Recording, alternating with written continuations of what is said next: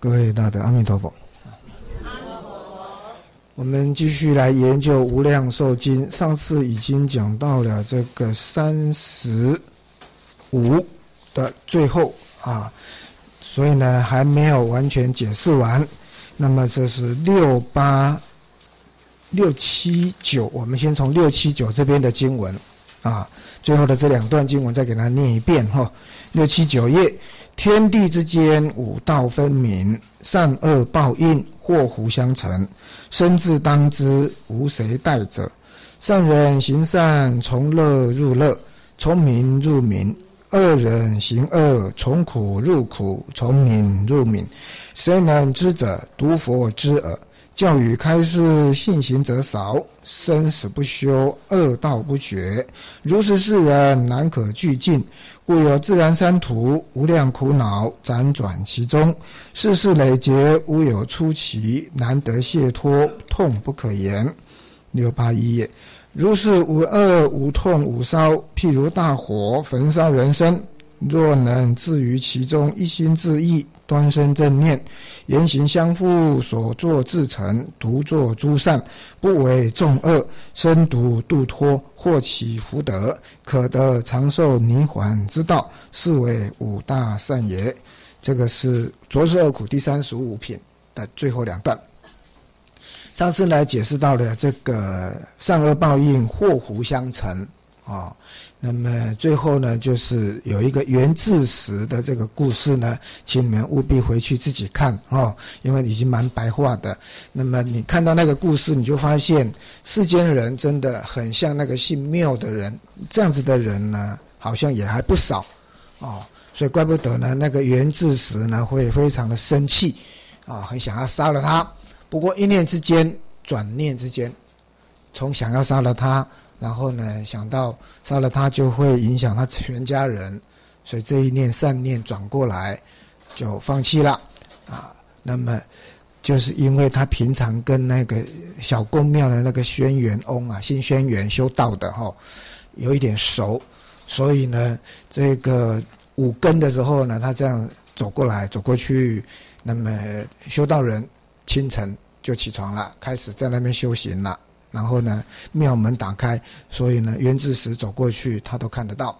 结果呢，很气的时候走过去，后面跟一堆凶神恶鬼，啊，然后呢，一转念之间回来的时候，后面跟的是善神，啊，所以因为平常就熟，所以白天的话呢，就特别去问那个袁志时，啊，才原来知道，就是一念之间，就后面跟的鬼神差这么大。啊，所以我们上礼拜呢，就做这个，用这个做结束，就是提醒大家，转念之间而已，起心动念啊，转念之间，后头的因果就会完全不一样。所以用这样来解释，祸福相承。哦，好，那么六八零页这边中间开始解释前面那个经文呐。这个善人行善，从乐入乐，从从民入民；恶人行恶，从苦入苦，从民入民。我们上礼拜有稍微简单讲过，你从现在行善，如果善业的力量够强，这一生就可以有好的果报。所以呢，从乐入乐，那个第一个乐是现法乐，就是这一生就有善的乐报就现前。啊，那你继续维持下去，继续坚持下去，将来就必尽乐。然后呢，从明入明啊，一样的，你好好的修，就能够呢，从越来越有智慧到得一切种子。反过来说，恶性循环，从恶啊一直行恶，恶人行恶，从苦入苦，现世苦，现世的果苦的果报就现前，一直到来世呢，那就可能入三途苦。啊，三恶道的苦，然后呢，从现世的愚痴，乃至呢，入到这个地狱去，啊，所以呢，这边呢，我们就复习前面的讲的花报跟果报，所以从乐入乐，从明入明，就是好的花报，一直到呢好的善的果报。从苦入苦，从明入明，那就是恶的花报，一直到恶的果报，啊，所以这个我们就可以知道哦。那我们观察周遭的很多现象，很多人，不管你认识的，或者是你的亲朋好友，或者是你不认识的，或者是你观察医院的里面的很多病人啊等等的，都会发现，好像呢，就像经典里面讲的，都表演给我们看哦。所以这个后面的经文就是说：“谁能知者，读佛之耳。”啊除了是赞叹佛陀的智慧，完全知道众生的果报，另外呢，也可以说，只有真正了解佛法、认识佛法的人，他当然就知道这样子的因果关系。这个读佛之耳，那个佛也可以是佛教，也可以是佛法，哦。然后佛把这些道理告诉我们，教育开示，结果信行者少啊，相信的人少。那愿意依教奉行的人更少，所以这样叫做信行者少。那既然没有照着这个佛的开示去断恶修善，当然果报呢就越来越不好，生死不休，恶道不绝。这样世间人呢，可以说呢很多难可俱尽。所以很多人平常一直造业，一直造恶业，将来的果报就是自然三途无量苦恼辗转其中，甚至呢。恶业太强，生生世世呢都在三恶道里面，无有出奇，难得解脱，痛不可言哦。所以这个是这一段的大意啊。那上礼拜就讲到这里，然后呢，接着就是六八一页啊。首先呢，也是一样，先从前面把它做总结，造了五恶的因，就有五痛五烧的花报果报。那么这样子果报现前的时候呢，譬如大火焚烧人生，很很痛苦的啊。那么这个如果你去看那些曾经有烧烫伤的人发表的那种经验报告，那真的是很痛苦的。即使呢只是烫伤，然后呢造成了身体某部分皮肤啊，那么都会让他事后。的心理恢复、精神上的恢复，都要花很长的时间，他才能够恢复，啊，所以这个经文用大火焚烧人生，就是用这个来譬喻受果报的众生，就好比是这样子，其实是很痛苦的。可是那个时候才要来后悔，来不及了，因此佛才会说：啊，你真的了解是这样。那你要在这里面置于其中，一心之意。这个其中是指哪里呢？就是在这种五浊恶世当中，就在我们这样的五浊恶世当中，能够一心致意、端身正念等等等等的啊，这个你就能够反过来翻转五恶而成五善。所以黄连祖老居士的注解第一句话就告诉你，这整段就是这个。正因为这个世间充满了五恶、五痛、五烧，一般的人都是在造恶业。那你能够知道，能够愿意多少很努力的去做，那你功德就很大啊！因为大环境不好，你还能够呢勉强的去把它扭转过来。自己这边不是讲扭转整个社会风气哦，而是呢你自己愿意这样扭转。你功德就很大，哦，所以为什么会写的独作诸善，不为众恶？啊，前面那边一心致意，代表呢，就是你很用心，很用心的去克制自己的那些念头。为什么要致意？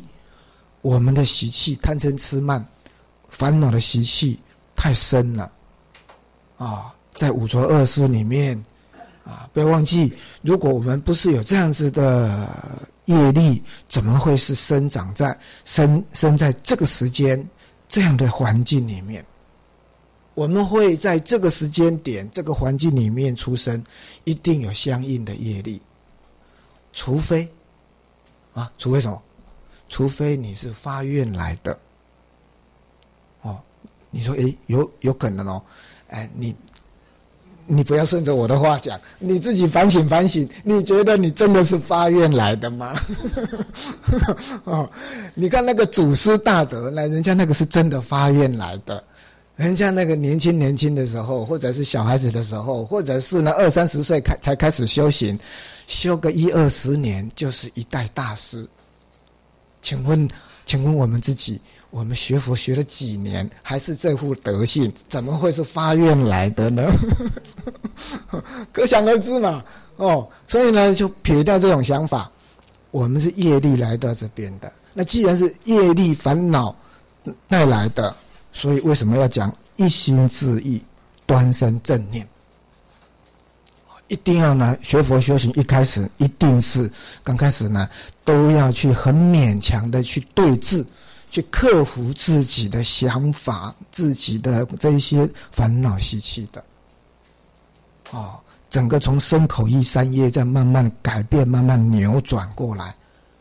哦，那言行相互，就是说呢，那你学到多少？你就要实践多少，啊，当然，你可能越学越多，学得很快，学得很多，这时候想要马上就能够言行相互，恐怕不是那么容易，尤其是像我们喜欢学教理的，啊。一下子呢，三五年就学一堆，尤其呢，在座各位可能有好多人都是参加很多班，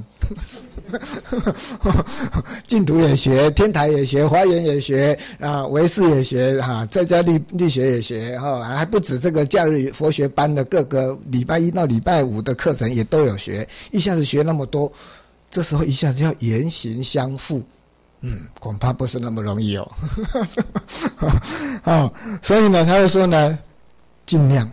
学多少，就实践多少，啊，要不能够做到说天天进步，也不可能说一下子能要求自己每个月每个月都进步，起码一年一年都有进步，哦，这样或许好一点了，哦，所以这个呢是在这边附带说明的啊，所作至诚就是说你真的呢都用很真诚心，希望去改变。自己的身口意三业，能够从中呢断恶修善，乃至能够修三三无漏学等等的哈，这样子。那现在呢，那一句话比较难懂的就是独作诸善，不为众恶。为什么是独作诸善呢？如果老和尚的解释呢，就是说呢，娑婆世界的众生，五浊恶世的众生，啊，芸芸的众生，苦海无边，你不可能。要求所有的众生都跟我们一样，都认识佛法，都知道要如何断恶修善。所以老和尚的意思是说，不要说人家也这样做，所以我我这样做有什么不对呢？哦啊，他说啊，人家要入入三恶道，你要跟着入三恶道嘛。哦，所以不求他人，独做诸善。不不必去管别人是怎么做，就是我们自己学佛学多少，然后实践多少，啊，也不一定要等到人家肯定你，或者是人家要教化你，啊，硬要苦劝你，那你才愿意做做善，啊，你就自己认识清楚了，下定决心了，就这样去做，依着佛法，依教奉行。独坐诸善，哦，所以大致上呢，老和尚的解释呢是这个意思，啊，不必看别人，啊，不一定要跟跟别人啊做比较，啊，这样独坐诸善。第二个意思呢，你看哦，前后两句，独作诸善，不为众恶，这两句相对来看。只做善，不作恶。你也可以这样看，纯善无恶。因为如果你能够这样做的话，那你前面的端身正念、言行相互、所作之成，跟下面的得度脱、得长寿泥环道，就完全相应。所以他他这两句呢，也可以说呢，就是纯善无恶，叫做独作诸善，不为众恶。啊，就是老上讲的，不不夹杂一丝毫的一分一毫的这种恶念，啊，用十善业道经的那种讲法，独作诸善，这时候就能够得长寿泥环之道。泥环就是涅盘，后面有注解哦。泥环涅盘，这是圆正三德之治果。那三德法身德、波若德、谢托德啊。所以这个是经文的解释。然后翻过来六百八十二页，最后总结的时候呢，就是说本品广明善恶果报，就好比观经里面的生性因果。好，然后引用彭继清居士的《无量寿经起信论》，这段要说明什么呢？看起来只是断恶修善，是人天的善业啊，但是呢，实际上以念佛因缘回向极乐，就可以把这种人天的善业变成是什么敬业啊，敬业啊，所以。他后面说呢，念佛之人能转恶业，何有天业而不能转？他是用这样的逻辑，以此类推，啊，善业转成敬业，恶业都能转成敬业了，那善业不能转成敬业吗？所以黄念祖老居士在后面就补充说明，这个就也叫做呢，待业往生。啊，待业待树树业，过去的业。不带现行的业，然后后面他就补充说明，所谓的不带不带不带现行业是带树业。他说：“你看，行人习净，你修净土，一面念佛，一面作恶，你这样修净土，决定不能往生。这个要详细讲，什么叫做恶业？”照你这个标准，那那几乎我们很多人都不能往生，所以这个要稍微分析。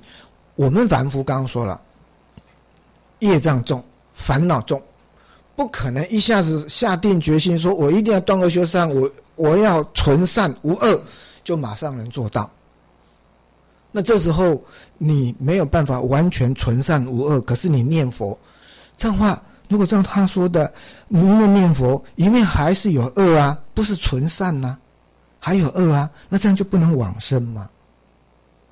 所以你不要误会这个意思。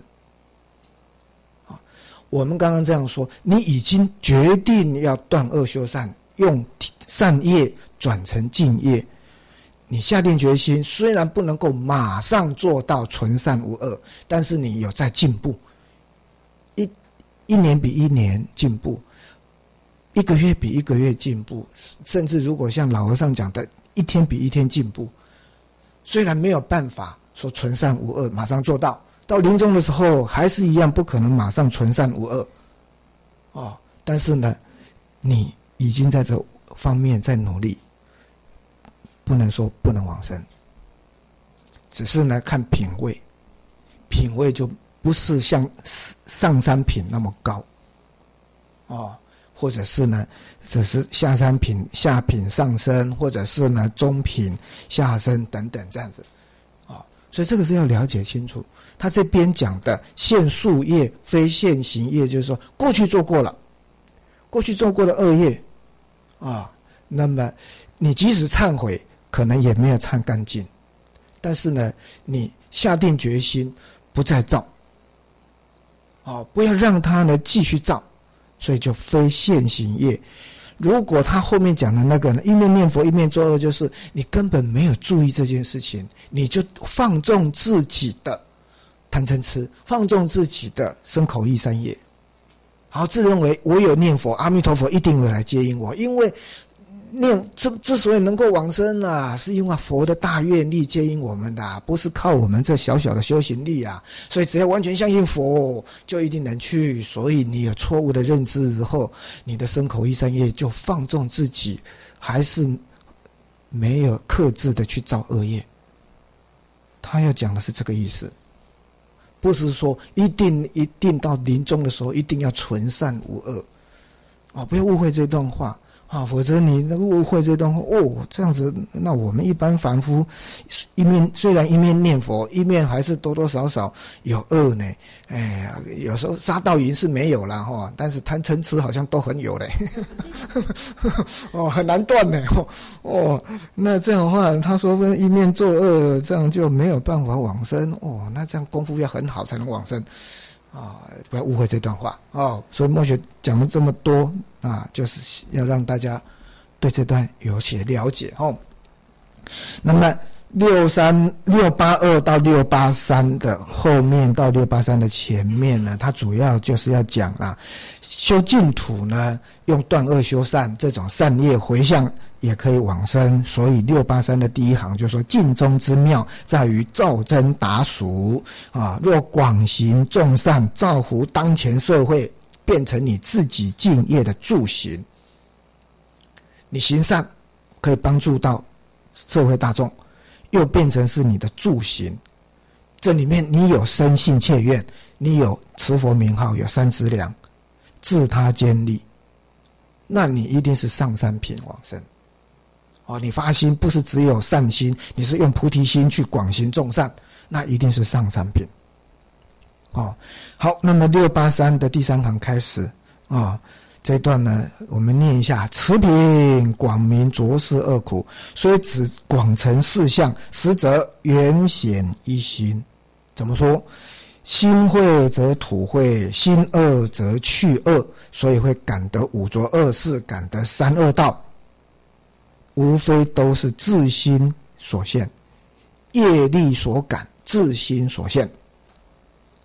所以，为什么无量寿经要把？良土的净慧，这样详明，就是要让你了解，要心净厌慧，所厌的呢，要厌离自己内心的染污污垢这边，所心的呢，也是自己自心的清净、光明、安乐的这部分，不是只有四相上，啊，也是没没有离开一心。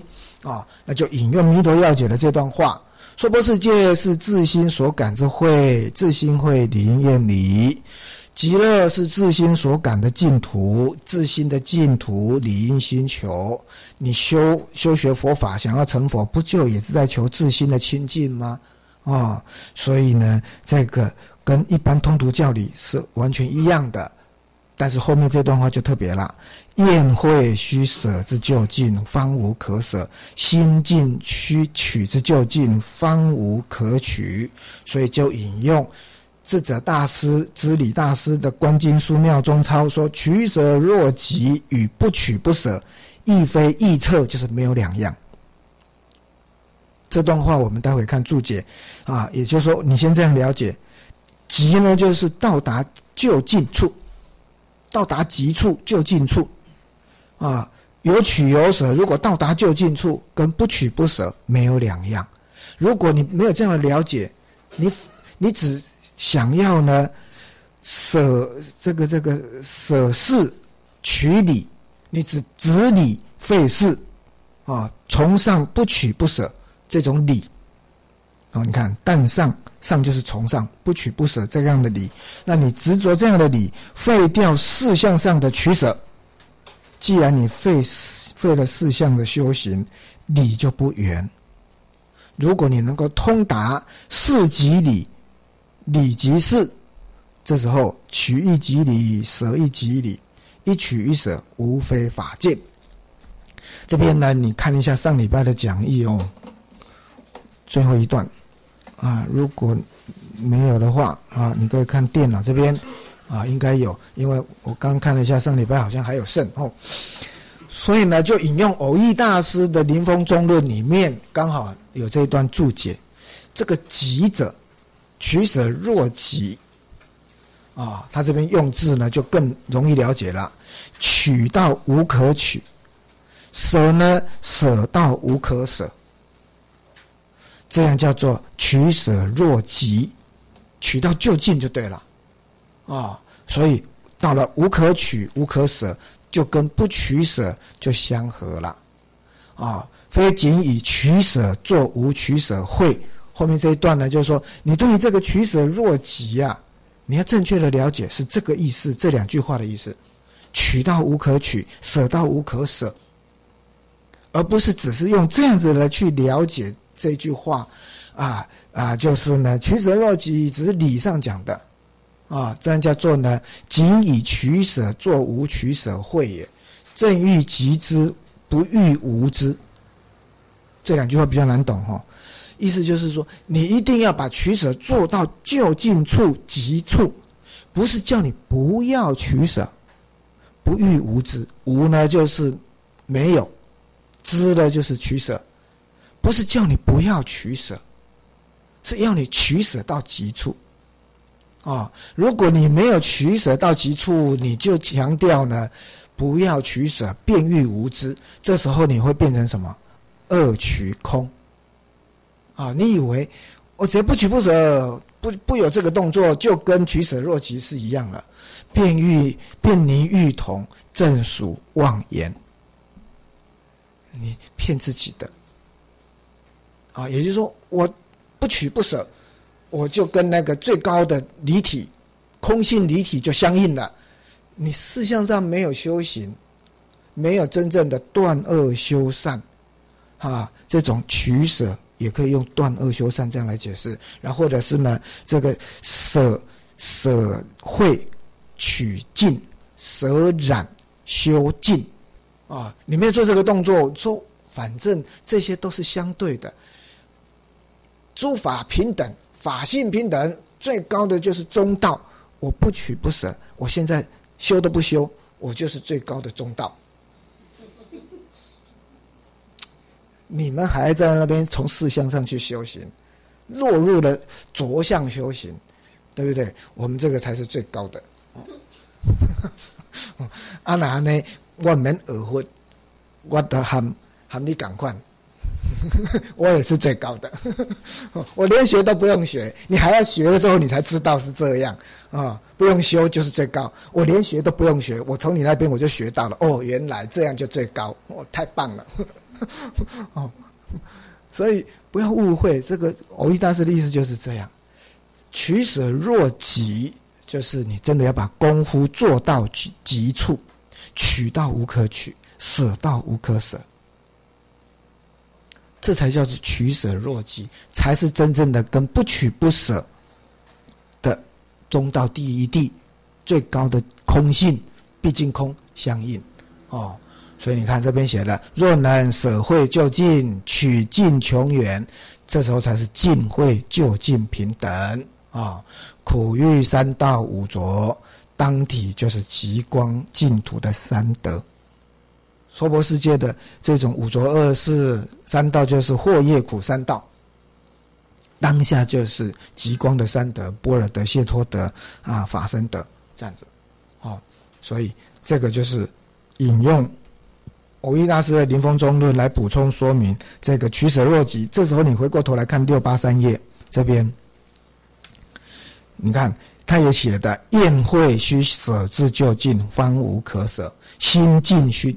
取之就尽，方无可取。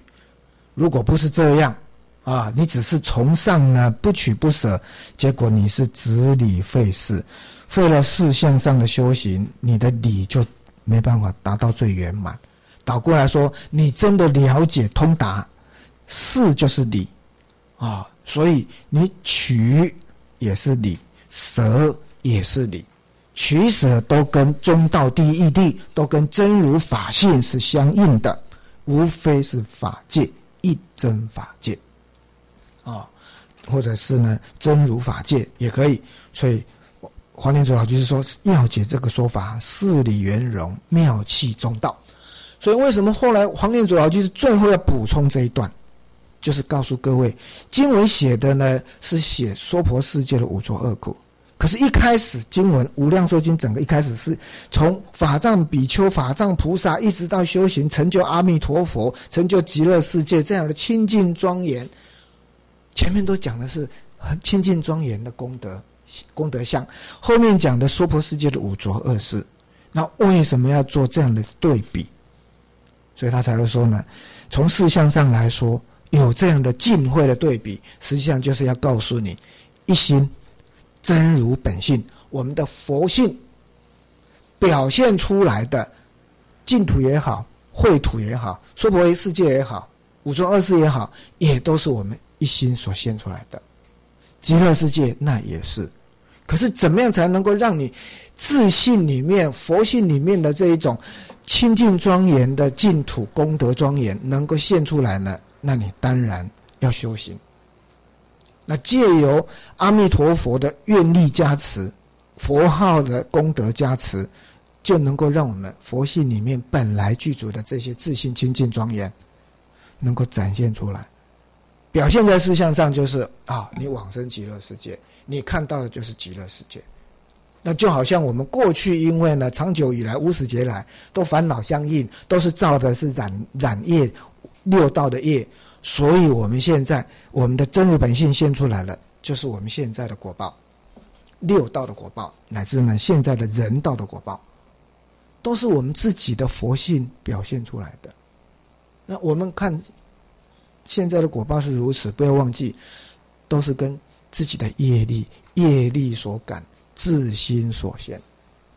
所以他整段就是要讲这件事情。好，接着下面第三十六品，重重回免第三十六啊，请看六百八十四页，我们把经文啊整个念完，这一品的经文就不长了。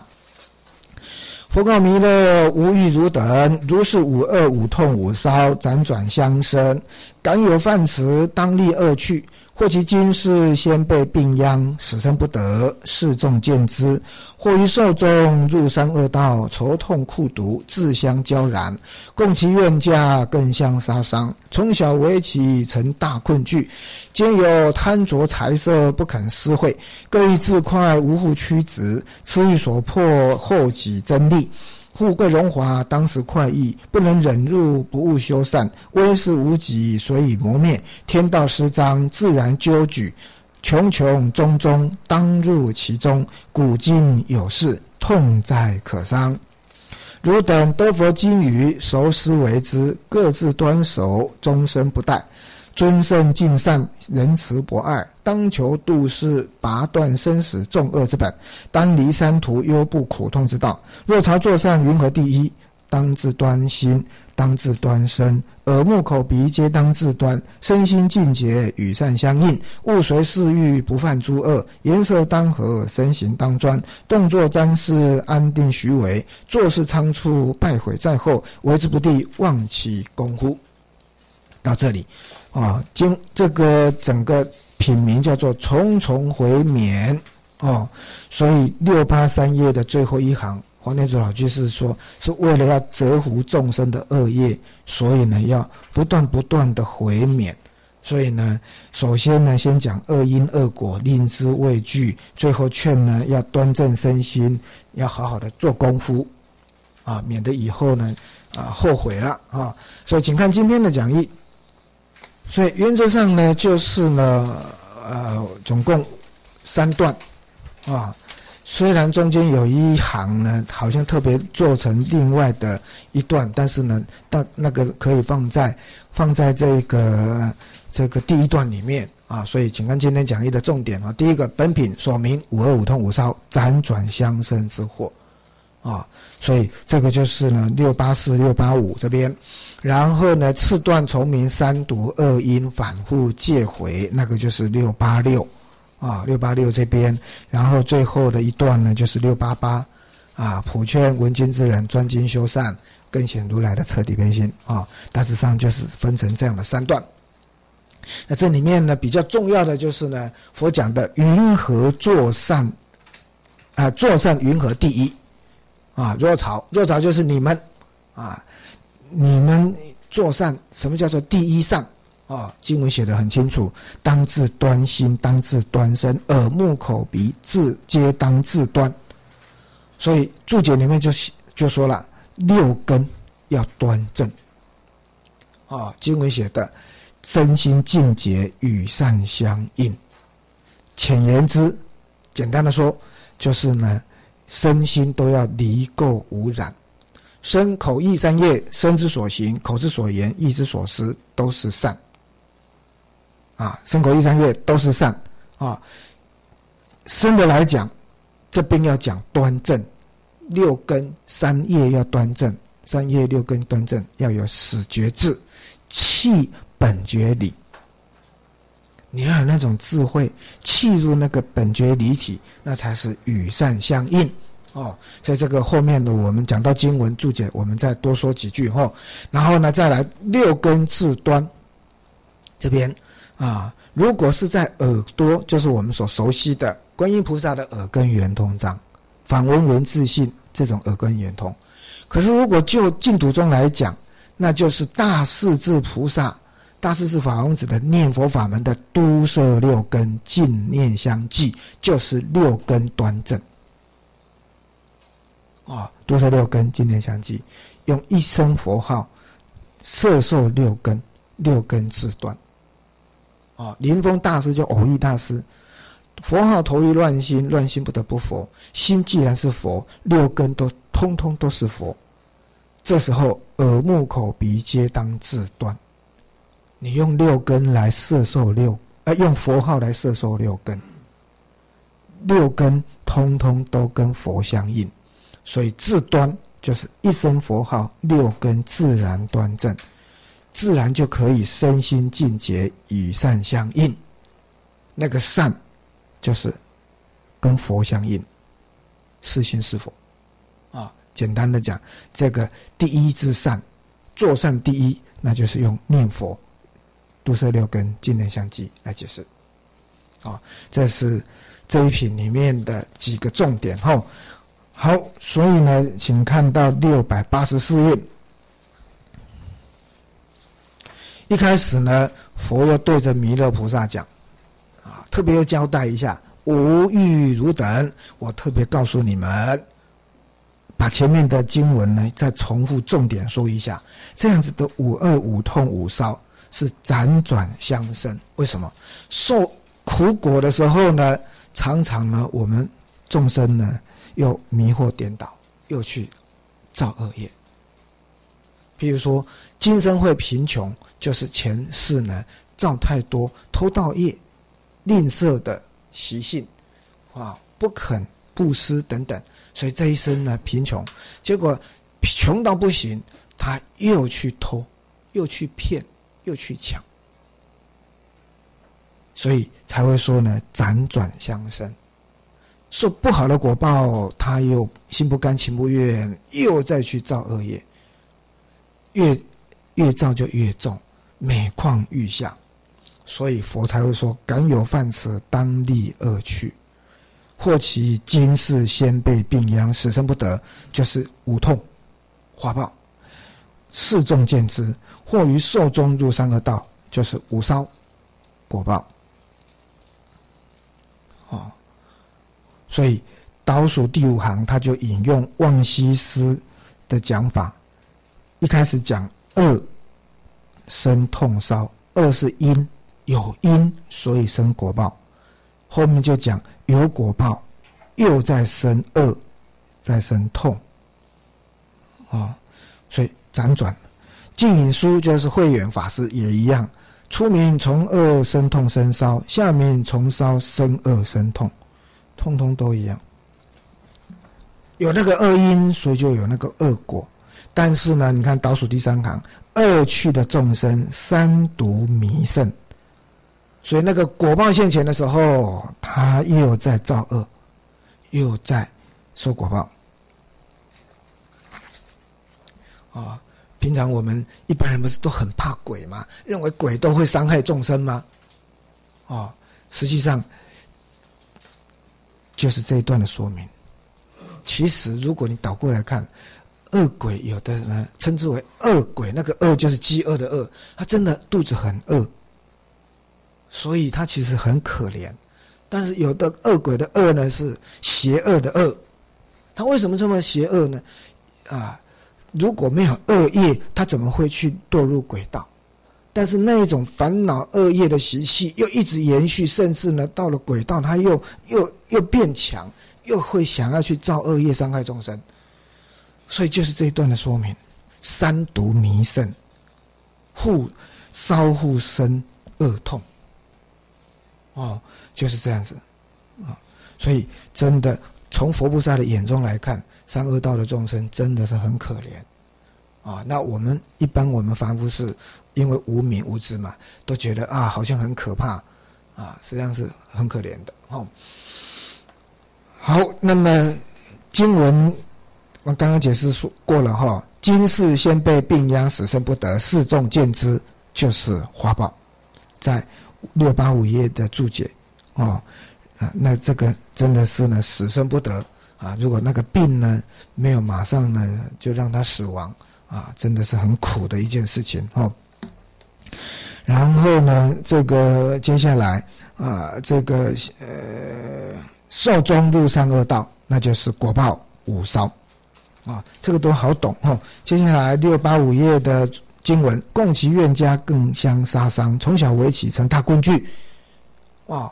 经云说说这一段呢，是特别讲的是从烧起恶。你说怎么看出来的？刚讲烧是果报，起恶呢？它的注解其实是说，这边起的呢，就是呢，又更相杀伤，从烧又造杀生恶，啊。也就是说，因为有术士的因缘果报，所以大家会在一起，不管在三个道也好，在人道也好，所以这些冤家在一起，那是果报。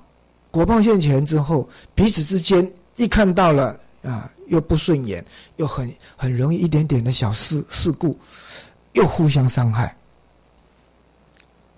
所以它叫做重烧起恶，又造恶业了，又。又结仇了，下辈子呢，又因为有这样仇恨，又一定会嗯连在一块了。所以从小为起，成大棍具，一直一直循环，一直循环啊！你看六百八十六页就讲了，从为自助，越远越越烈，无有穷奇。啊，众生与众生之间的那种怨仇，如果没有修行。没有看破放下，真的只会呢越演越烈，无有穷奇。啊，所以我们就被捆在这里头，困惧就是被被捆在里头啊，出不去啊，很严重的这些果报啊，永远都没完没了。啊，所以这个呢。是说从烧起恶的杀生的恶，再来呢六八六页这边皆由贪着财色不肯释慧，也可以说呢，因为果报不好，所以呢你就会去想要去贪更多、抢更多啊，骗更多。从烧起的是劫道的恶，偷盗、欺骗啊那种劫道的恶。哦，然后后面这个痴欲所迫，后己真利等等，也可以说呢，这里面就包括了邪淫的恶、妄语的恶，因为无无复曲直，没有是非，没有善恶，没有惭愧，无复曲直，痴欲所迫，所以是从烧起邪淫、妄语都有。然后富贵荣华，当时快意，你可以把它解释，因为有一些好的果报，结果。你你要去造这些饮酒啊、啊吸毒啊等等，当时快意不能忍入，不勿修善。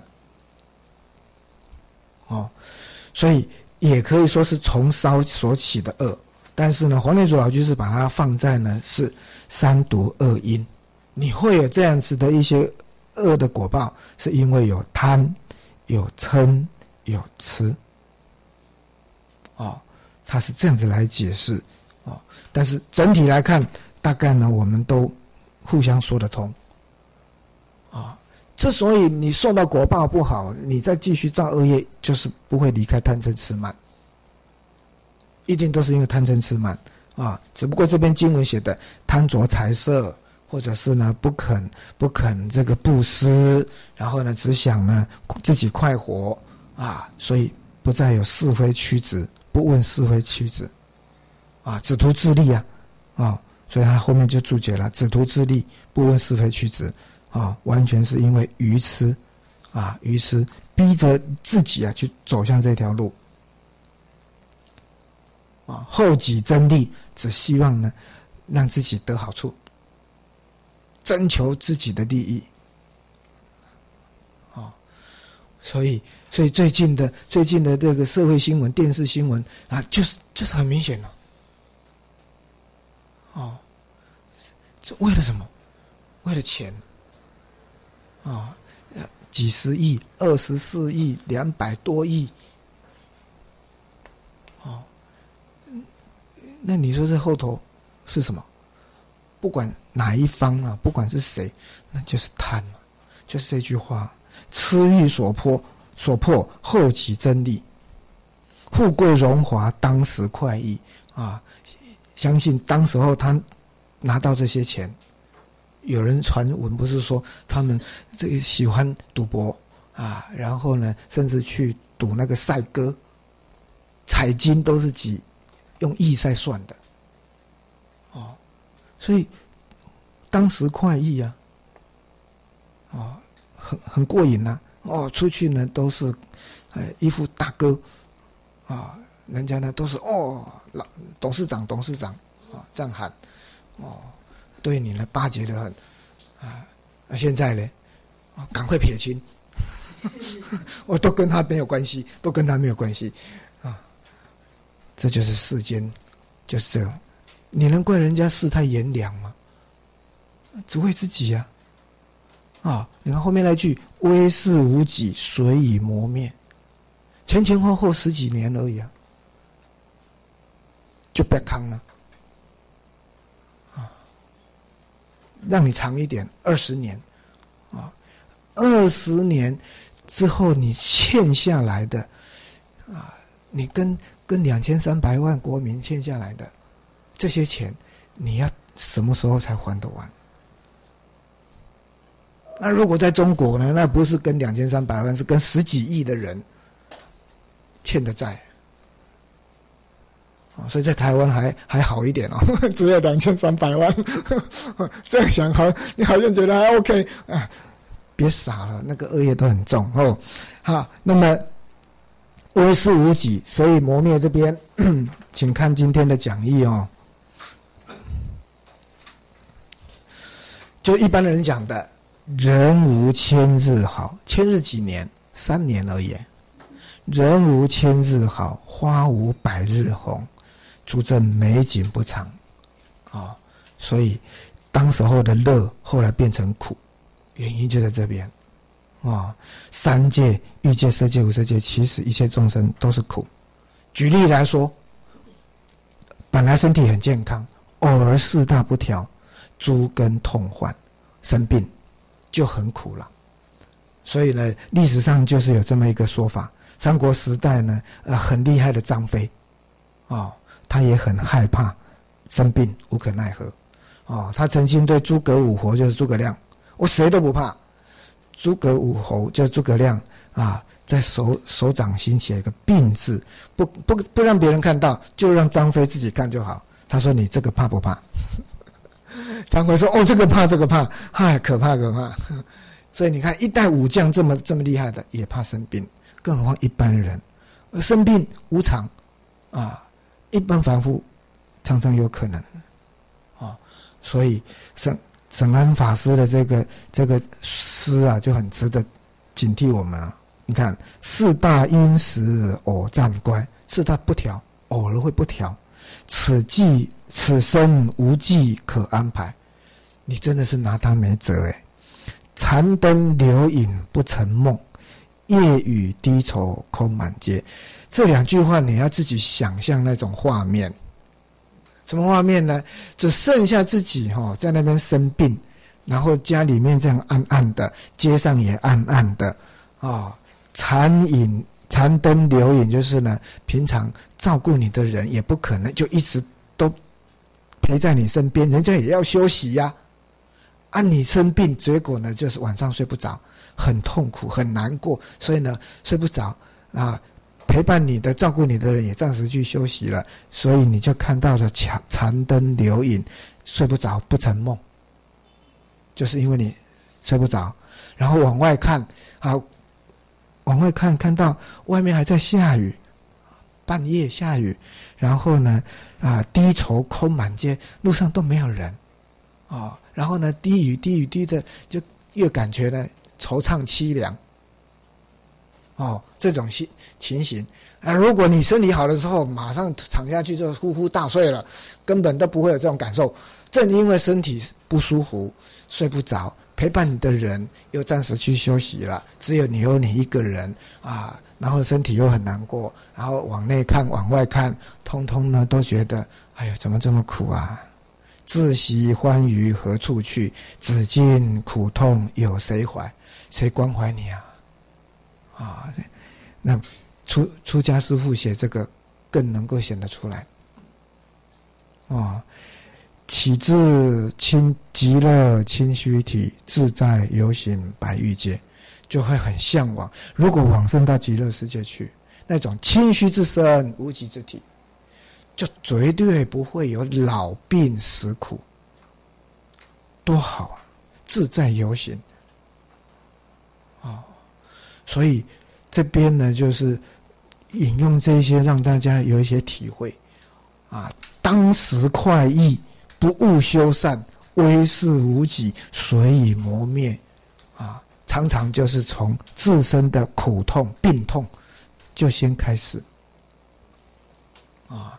有人说：“哈，有人说，哎呀，这样一来，如果能够一下子心肌梗塞就走人，那个人是很辛苦的。你是对比这种长年累月的病苦来说，这样的人算是幸福的，家属也幸福一点。可是，如果你从他的果报来说，就很难讲哦。突然。”还没有做好准备，突然心肌梗塞就走人。请问他陷入中阴身的状况，他会不会也是彷徨？不知道怎么办？怎么突然就死了？我还有很多事情没做，我还有事情没交代，怎么就这样走人了？如果你是是你，你自己想一想，你是死者，你真的会觉得自己是幸福吗？再者。会有这样子突然就死亡，啊！如果他不是陷入中阴身，啊，或者是直接就到阎罗王那边报道呢？哦，那你说他的果报会是什么？如果平常没有多造一点善业，那到阎罗王那边审一审、判一判，三落道啊！你说那那如果平常有善，平常如果多修一点善业。怎么会是突然心肌梗塞就突然暴毙呢？这个恐怕理论上面很难推出来。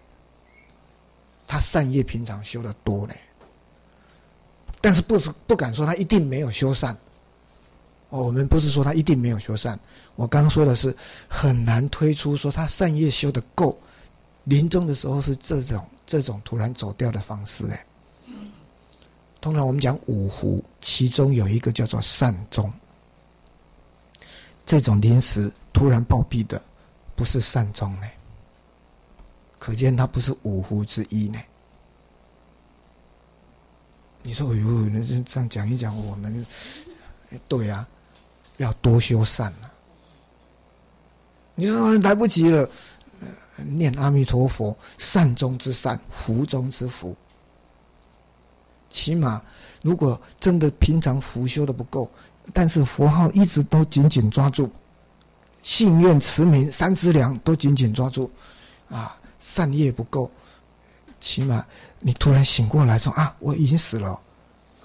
啊，阿弥陀佛，阿弥陀，快紧念，快紧念，陷入张先生状态要快紧念嘛？啊，不变喏，哦，那代表你平常信愿行三思量是很清楚的，正念是常常保持住的，但是因为福修的不够，所以还会有临终的那种突然暴毙的这种状况，突然死亡的状况。如果你一方面有信愿行三资粮，一方面呢也有修福正住恶行都有，应该不会有这种情形。大家要多想想，啊，接着讲经文。天天天道师章自然纠举，那个字念纠举，哦，那么其实呢，跟那个六八七页的二四六八第八行，啊，净引书里面那个纠字啊，是一样的意思，啊，就是呢，因果必然的道理。叫做天道，啊，造恶必彰，就是呢，一定会把它显出来，善有善报，恶有恶报，所以慧书直接讲白一点，天道就是因果报应的果报，哦，然后呢，事已发者依法断割之，就是已经不康的，就依世间的法律；事未发者审查之，就是后头有天地鬼神会会主持公道，纠举。哦，现象上看起来是天地鬼神在那边审判，实际上就是因果必然的道理。自然纠举就是自然就会显出什么样的道理，善有善报，恶有恶报，能够把它呢，给给显示出来。穷穷中中，当入其中。穷穷呢，就是忧思，无所依，就感觉很忧愁，然后好像很孤独，没有依靠啊。中中的话呢，就是内心很不安，惊惶失措，所以叫做。穷穷中中，那个“中”是有卷舌的“之”，啊，穷穷中中，我们台湾国语讲的不太很标准哦，还会念“中中”，中中，穷穷中中，当入其中哦。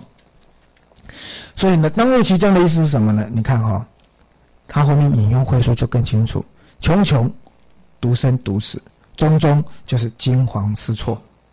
有那个业力，就把你拉到哪里？拉到六道轮回里面，拉到三恶道的果报里面。其中就是五道、六道轮回。如果恶业重，那就是就入到三恶道去。古今有事，痛哉可伤。古今中外啊，不是只有古今中国啊，古今中外通通都有这样的因果报应呢。哦，好，六八八页。啊，佛呢就劝我们，既然现在学佛了，得佛经与学佛了，熟思为之，好好想一想，该怎么做，你就知道了。各自端守，啊，端守，你看注解，儒教奉行，倒数第三行，六八八的倒数第三行，啊，然后呢前面就写了，要从思起修，闻思修，得佛经语就闻嘛，熟思为之是思嘛，各自端守就是修嘛。所以端守就是儒教奉行，啊，那怎么奉行呢？啊，尊圣敬善，仁慈博爱，尊圣敬善，圣跟善都是往上的，仁慈博爱呢都是往下的，哦，所以他的注解里面呢，把三宝啊讲出来，这种圣跟善就是三宝，仁慈博爱呢就是对一般的众生，所以你可以这样。解释往上跟往下，哦，都要能够呢尊敬，然后要能够呢仁慈博爱，然后接着当求度世拔断生死众恶之本，你要求度度世，就是能够超越这个世间，哦，那怎么超越？当然就要拔断生死众恶之本，拔断生死的根本。所以注解写的比较清楚，自度度他。这叫做度世，自觉觉他，自己能够超越世间，也能够度世间人超越世间。世间就是六道轮回，哦，所以这样叫做度世，自度度他，啊，令众生都能够呢断生死众恶之本。他这边写的比较简单一点，勤修戒定慧，熄灭贪嗔痴。就是勤，就是拔断生死众恶之本，六道轮回贪欲为本，但是呢，又说呢，生死苦海自为能度，用智慧去断贪欲无明，就是拔断生死之本。所以，到底生死的根本是无明还是贪欲？请看讲义哦。照说呢，生死的根本是无明。但是它表现出来的就是我们的贪嗔痴三毒，种种的烦恼，所以是从这种无名，然后表现出这样的烦恼，依着烦恼再去造种种的业，有了业因，当然就有果报。所以照说呢，要拔断生死众恶之本，那就是要断无名。所以这个地方用一本论呢，叫做《发智论》，阿比达摩发智论，小圣的论。诸所有恶趣，此世及后生，皆无名为本。但是贪是帮忙的，帮你生死轮回不断。哦，所以引用这四句偈呢，就是要让大家了解生死根本无名。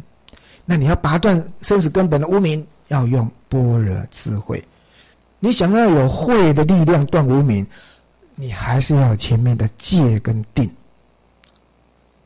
没有前面的戒定，你的慧起不了力量。那种慧，常常举例来说，哈，就好像人家在房间里面啊。点了一盏油灯、蜡烛，结果那个窗户是开的，外面的风一直吹进来。你把那个蜡烛、油或者是油灯放在窗口，一下子就被风给吹熄了。那个叫做境界风，吹熄你的智慧灯。那你怎么样让那个智慧灯能够发挥效果？起码有一定的那个亮度呢？就是把窗户关起来，不要让它吹风。这个就好比用界定，把境界风挡起来，不要被境界所影响。哦，所以就是用戒、用持戒、用修定，这时候你的慧才能够发挥力量。所以，如同《楞严经》里面写的，你看哈，修行三决定义，为什么用个决定义？一定不能够离开这三件事情。这是决定的，哪三个戒定慧？可是戒是什么？摄心为戒，你能不能够收摄你的心？透过持戒，把你的心能够收摄，不要随便乱跑，不要随你过去的想法，跟随你的习气，这样才叫做摄心为戒哦。持戒结果没有达到这个效果，那不是持戒哦。然后因戒才能够生定，因定才能够发挥，所以这样叫做三无漏学。哦，所以断恶修善，其实就是摄心。你让自己的心有一个标准，不是照以前的想法，照以前的烦恼习气。你既然有认识善恶的标准，你你已经发愿要断恶修善，所以你心心念念就要注意自己，我这样做到底有没有合乎？断恶修善的标准，这叫做色心，是这个意思啊。哦，好，那么这样子的话，就比较了解拔断生死重恶之本，没有离开戒定慧三无漏学啊。那个生死的根本是无名啊，你要拔断它，一定要用戒定慧三无漏学。那么下面呢？注解六八九页呢，就开始解释那个那个经文啊。佛自己说：“若朝作善，云何第一？当自端心，当自端身，耳目口鼻皆当自端。”甚至后面呢，也是在解释这段：身心净洁，与善相应，勿随私欲，不犯诸恶啊。颜色当和，身形当专，这些都是在解释呢。你要当自端心，当自端身，要六根都要自端的意思。所以六八九页中间这一段，哦，文字很多，那请你参考今天的讲义这边第一页的最后一行，莫学就把它整理一下。你要把第一页跟第二页啊，第一页的最后一行跟第二页的第一行对应来看啊，很可惜没有刚刚好放在一起哈。身身息耳目口鼻皆当自端，做功夫的这边来说。如果是讲持戒清净，后面的与善相应，那就是呢，你真的能够持戒清净，心得自在，就能够有定。啊，摄心为戒，然后因戒生定。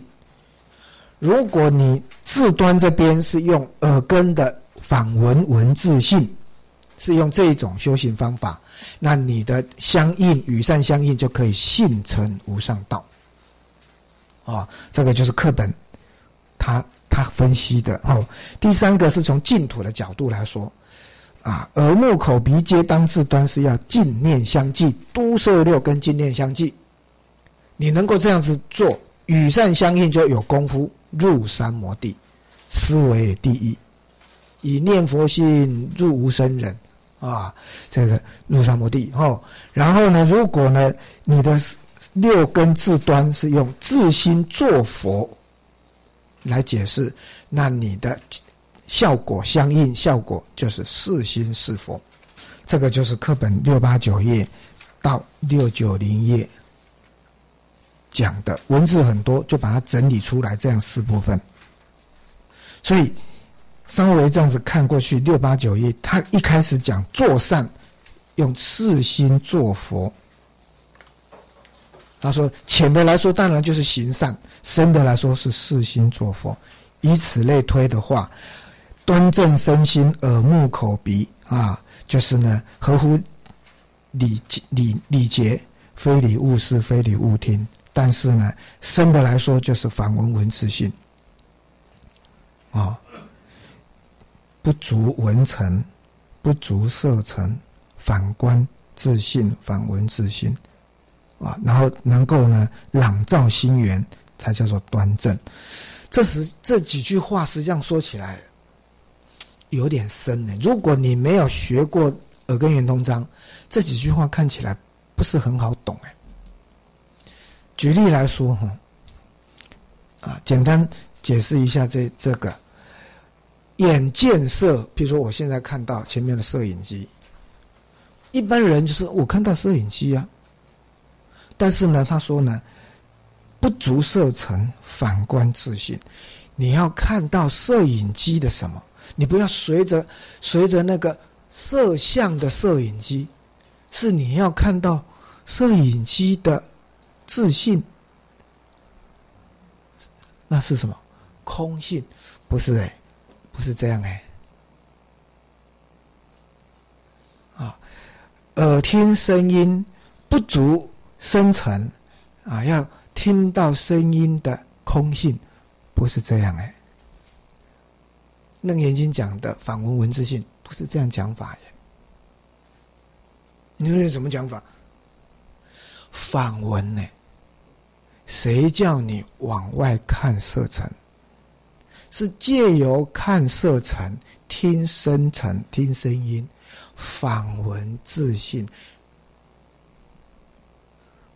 所以这个就难。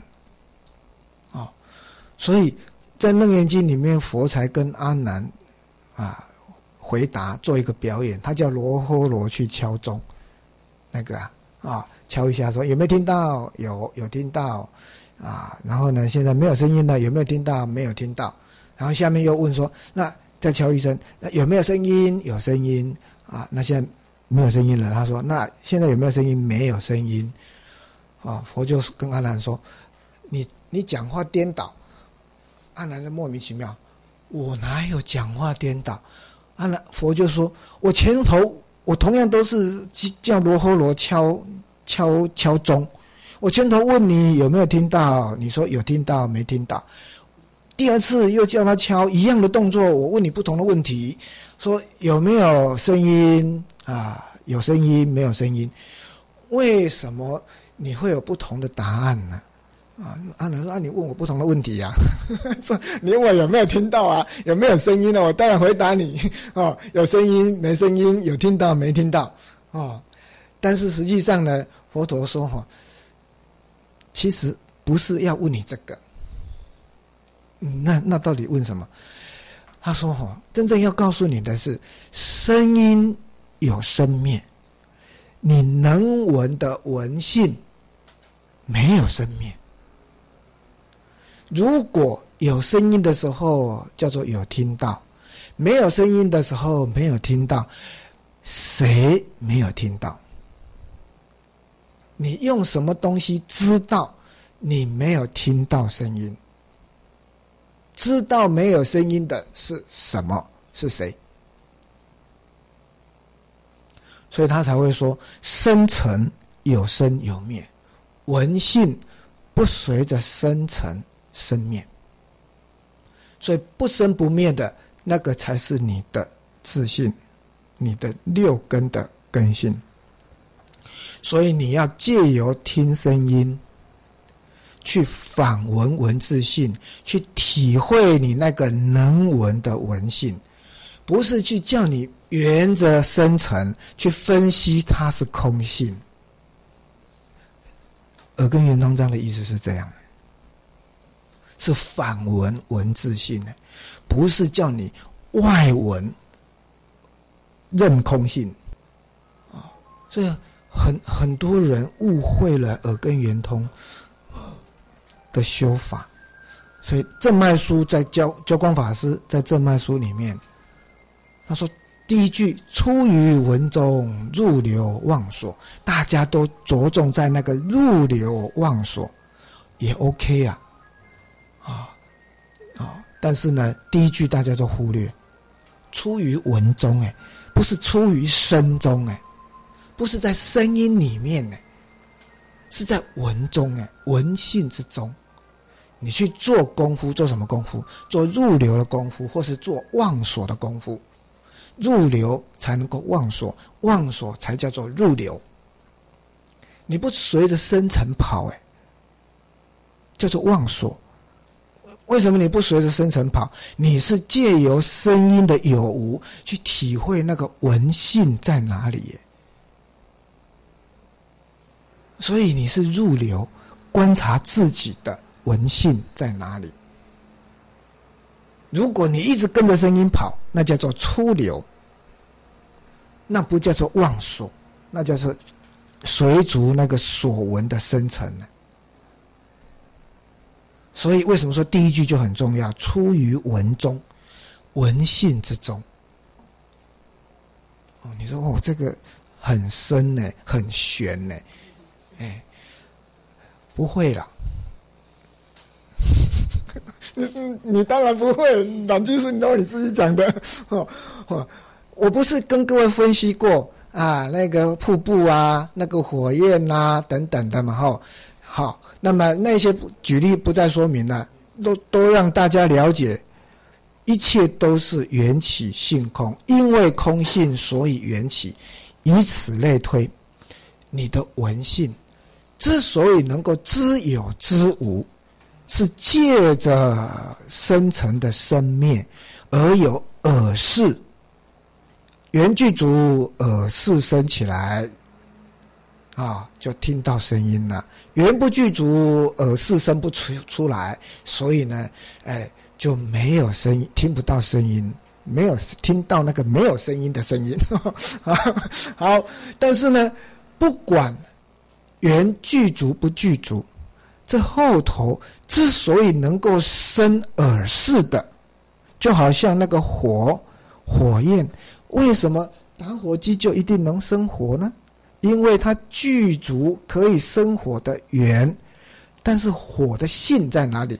火大在哪里？尽虚空遍法界，无所不在。你说它长怎么样？没怎么样。说是怎么样就错。但是呢，原具足打火机这么一打，火就出现，火的相就出现。以此类推，你的耳识。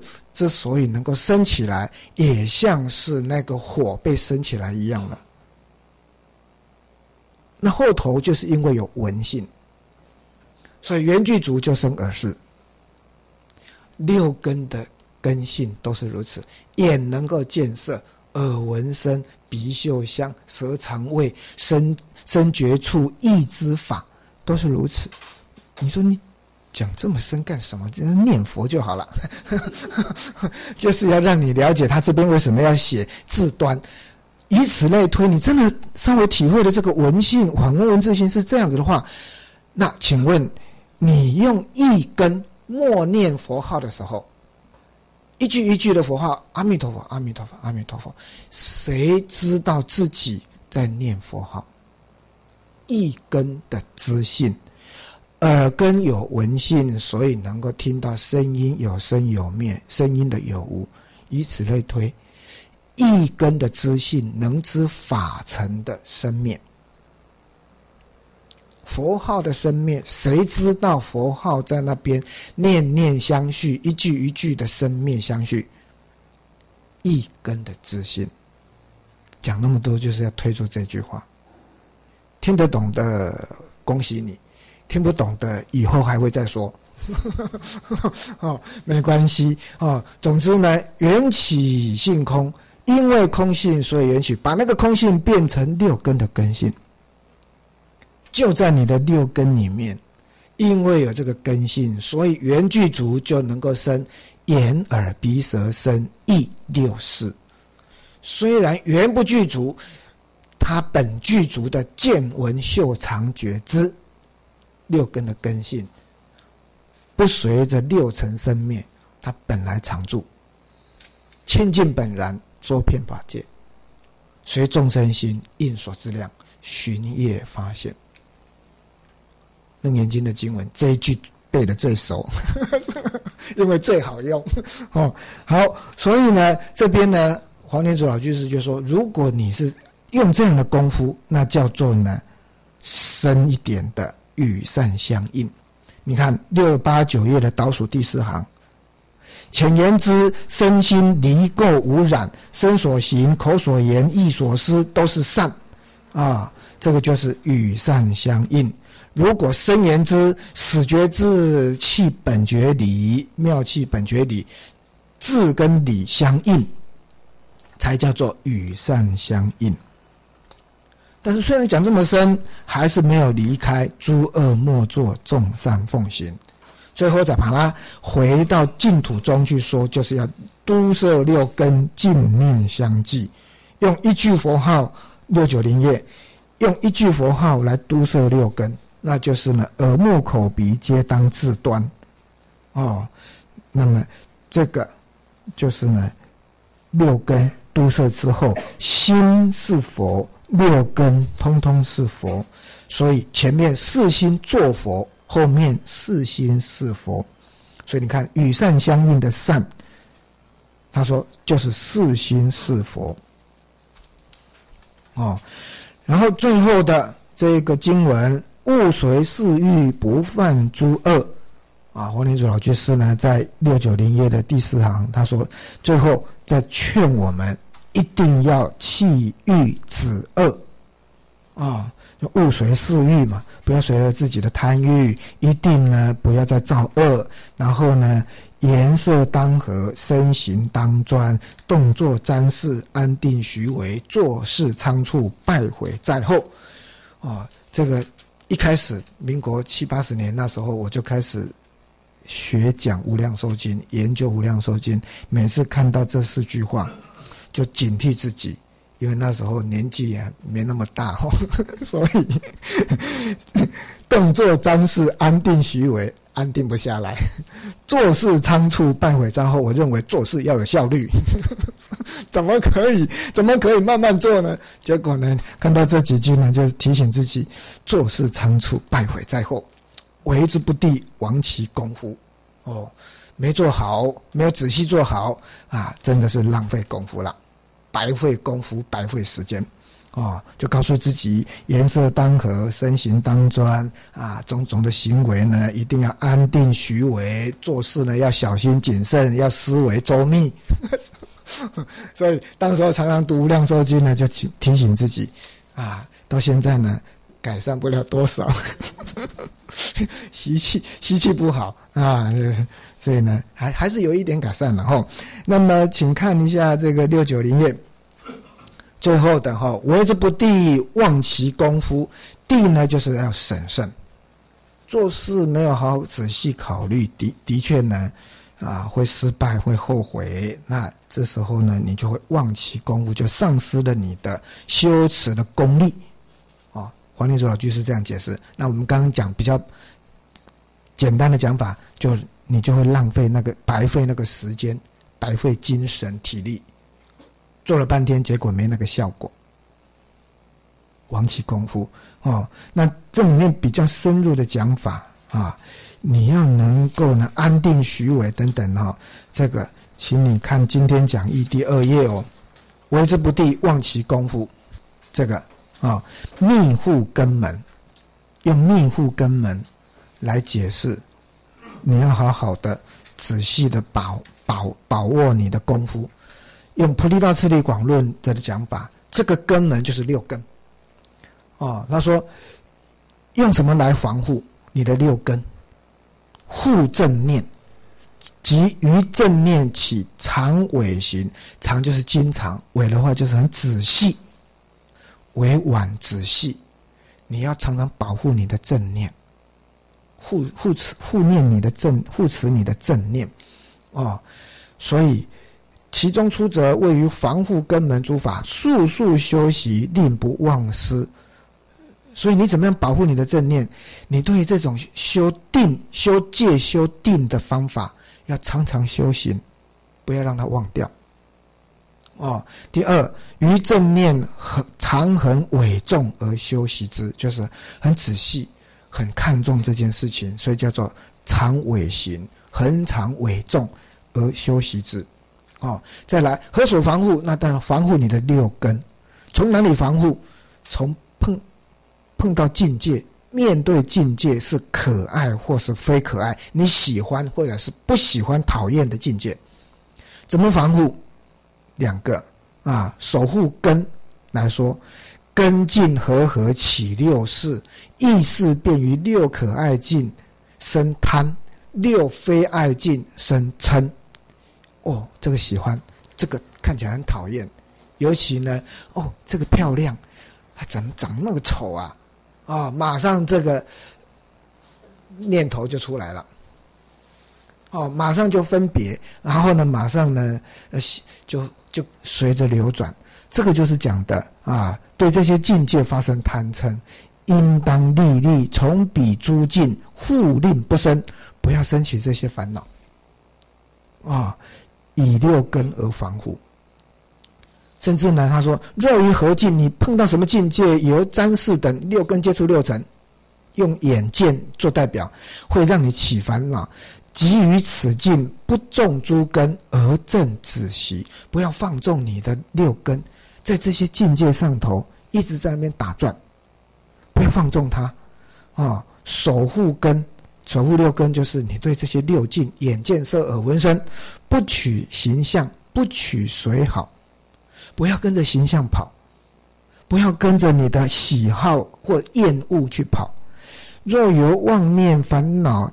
炽盛忘正念，忘记你是修行人，你忘记正念的，你烦恼炽盛，起罪恶心，亦由防护而能止息。通常我们讲忏悔、讲修行，其实都是在这里耶。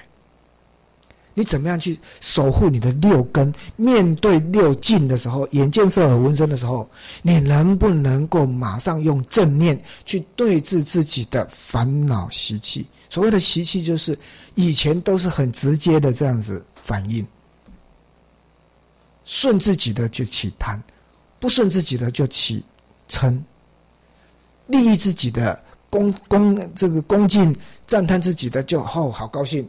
啊，然后呢，不如自己的就起慢心，贪嗔痴慢，啊，所以他讲的就是这个，哦，不取形象，什么叫做取形象？于非因观色，呃，观视色等正为境界，或现在前，即便作意彼等形象现前往观，你不要特别去去看。你突然这样子经过，被你看到，被你听到，那不是特意要去做的啊！你看过就算了，听过就算了。现在取形象就是，你特别去注意它，作意，去取着它，眼见色，耳闻声，特别去作意去取它，这样叫做取形象。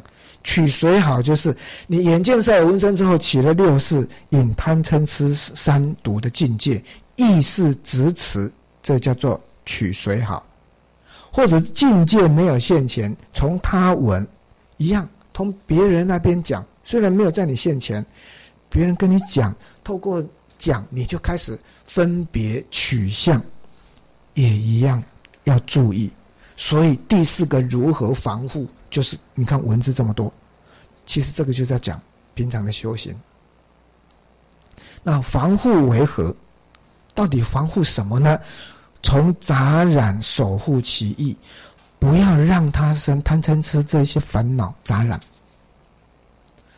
哦，这样叫做防护，令住善改成善性，或者是起码无记性。一开始没有办法转恶成善，起码让他无记性。什么意思？啊，举例来说，之前很喜欢看啊，女孩子哦，漂亮哦，这个穿的很露，很正点哦，哦，好辣，都会一直盯着啊，盯着盯着，然后内心呢，让贪着心就是跟着起来。现在呢，起码看过去就看过去了，啊，就是看到一个境界。哦，以前是很喜欢的，现在呢要很小心。我看到这个，我是不是在起贪着心？哦，也就是看到而已，过去就让它过去了。啊，不要这样一直盯盯盯盯盯盯，走很远还在盯。哦，这个我们通常讲啊，我们公大义公还在低歌行。啊，那那个为什么有个性字呢？就是那种习性以此类推，举这个只是比较很明显，虽然很 local，这样的用词不不是很恰当，照说不太应该要在在台上这样讲，但是呢，举这个就是很明显的，就是我们这种烦恼习气习性，你一定要想办法对治。哦，可能有的人不是贪这个，但是他对于名闻这种名誉。别人的批评，别人的赞叹，他会很在乎。有的人是对钱财，有的人是对于权势地位，大家贪的不一样，厌恶的不一样，嗯，但是都是可以用到这边来。所以无记性就是你暂时不要让他跟着跑，起码让他呢没有善，没有恶，先做这样的功夫，叫做无记性。此中所住无户无忌者，为威仪等时，非是慈心助善缘时。就是起码你的动作，威仪就是动作，哦，该有的威仪动作，那你要保持住。虽然你内心呢不是往善，不是助善缘，但是起码你没有跟着起那些烦恼杂染。所以这样叫做密护根门。后面引用这一段，就是让你了解，这也叫做根律仪。律仪啊，持戒。为什么用这律仪持戒是根律仪呢？就是密护根门，守护六根的。所以一些是利用用词，如能善安住密护根门，防守正念，常为正念，这样叫做根律仪。真正你要持戒，色心为戒，就是要做这个功夫。你如何色心为戒，能够因戒生定，就是要做这个功夫。否则我们也会念呐，因戒生定，因戒生定呐，以为这样持戒持戒了就可以自然生定啦，没有自然就生定的。如果你没有从这边密户根门，你修定会很多障碍，会很辛苦。因为你的平常牲口一三业就收摄不回来呀，你要花很多功夫才特别去修定。就常常常我所举例的，我们去参加佛区、参加禅期，一前头前面的一天两天，甚至要到第三天才终于呢能够比较安定了。然后呢第四天可能状况最好，结果第五天又想到，哎，啊。剩下两天，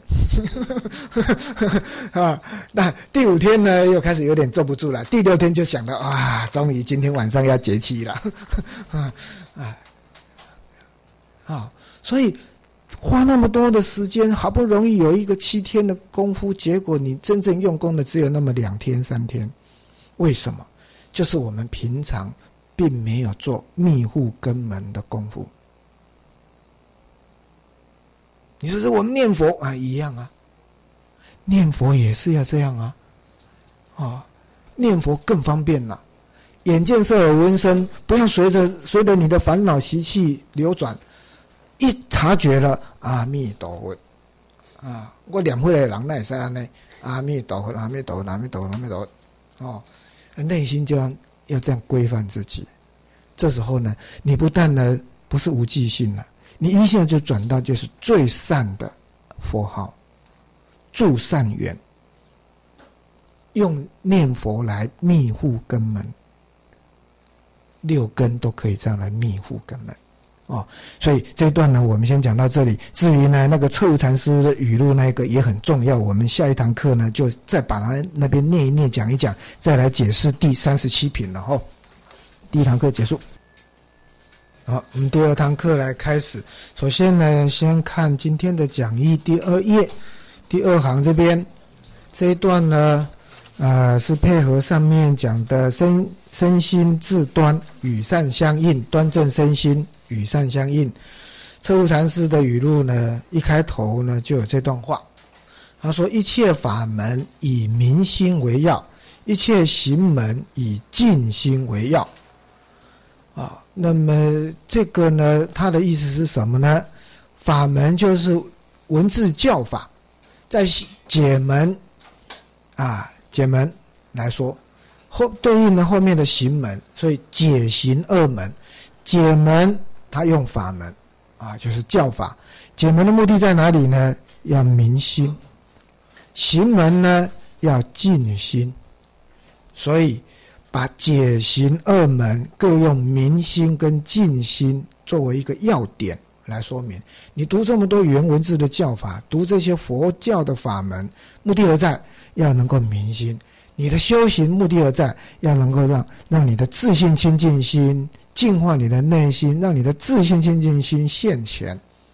但是呢，接着转过来，明心之要无如念佛。下面静心之要亦无如念佛。为什么呢？为什么明心之要无如念佛呢？一佛念佛，现前当来，必定见佛，不假方便，自得心开。心开见佛，见自信佛，不就是明心见性吗？所以他引用《大师之念佛圆通章》的这这经文。一佛念佛现前当来，必定见佛，不假方便，自得心开。这样的念佛，不就是明心之要吗？就是让你明心最重要的、最方便的一个方法，不就在这里吗？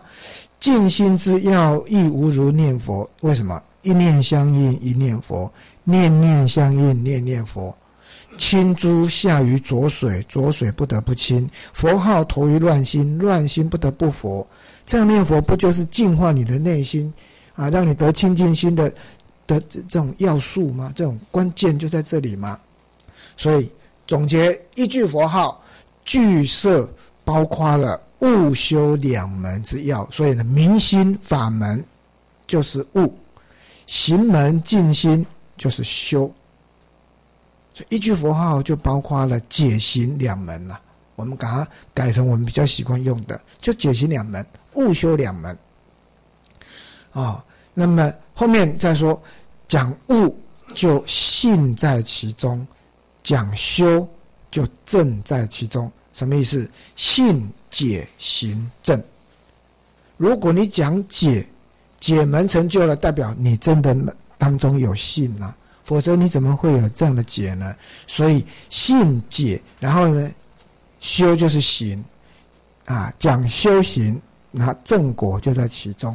所以就变成了有信有解有行有正，信解行正，信解修正，他就把把行改成修而已。所以信解行正可以说呢，就包括了所有大圣小圣一切经典，重点都在讲这边，一切诸经之要，庆无不尽，通通包括在这里了。所以一句弥陀，非自要之道乎？所以，车悟禅师他本来是参禅的禅师，开悟的禅师，后来转成了念佛、弘扬净土念佛的，因此他写出来直截了当，文字非常的简单，但是句句话都讲到重点。这样念佛，信解行正，解门行门的要点，通通包括在这里头了。那为什么要引用这一段呢？就是告诉各位，用来注解前面的言。耳目口鼻皆当自端，然后最后你能够呢身心净洁与善相应，就是用一句念佛，你的身口意三业，你的六根都能够端正，都能够净洁与善相应，不但能够明心，也能够静心。好，以上呢这个是第三十六品，接着呢我们进入第三十七品，如平得宝第三十七，我们把经文念一遍。啊，他这个经文也没有很长，所以一样一次就把它念完哈。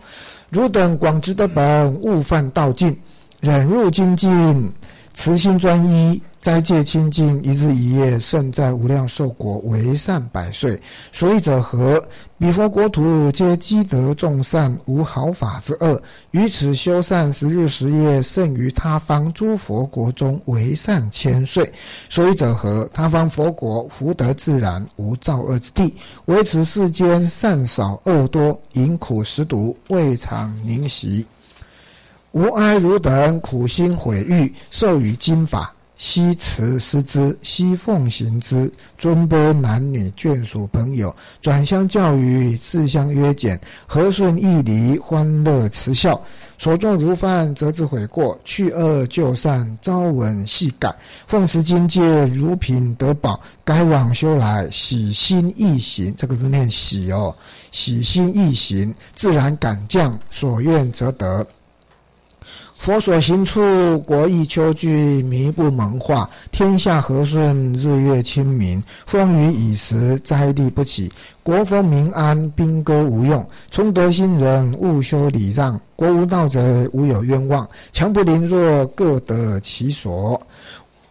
我哀汝等，胜于父母念子。我于此世作佛，以善攻恶，拔生死之苦，令获五德，生无为之安。无波泥环，兼经道见灭，人民常为互为众恶。五烧五痛，酒后转句。汝等转相教戒，如佛经法，无得犯也。弥勒菩萨合掌波言：“世人恶苦，如是如是。佛皆慈哀，悉度脱之。受佛重悔，或是重悔都可以，啊，不敢为师。所以这一品叫做如品得宝。最主要呢，就是说我们好不容易终于能够得到这么一个法门，就要好好珍惜它，就如同一个很贫穷的人突然得到了宝贝。”那现在比较难了，现在比较难，应该是说，如贫人中大乐透，中微利彩，而且一中十几亿的 这样子。好，那么请看今天的讲义哦，第二页的最后啊，这边呢，本品内容分五段啊。首先呢，就是这个六百九十一页这边，佛劝于此土勉励修善，此土就是娑婆世界哦。然后呢，第二段，佛重重回免，唯愿大众奉持境界，如平得宝，珍惜此生殊胜机缘，就是六百九十三页这边。然后第三段呢，就是六百九十五页，佛慈德无量，佛所行旅之处，或者是佛法流行之处，就是佛所行处，无不蒙受佛之教化啊。这第三段六百九十五页。第四段经法见灭，烧痛转句，护故护戒令舍恶修善，奉持经法，就是六百九十七页这边啊。然后第五段就是呢弥勒菩萨的回答啊，这个身领佛回，合掌敬谢，是故我等皆当尊佛训诲，信愿持名，求生净土啊。大致上呢，这个文字都不难懂啊，大分成这样五段。那么一开始呢，经文。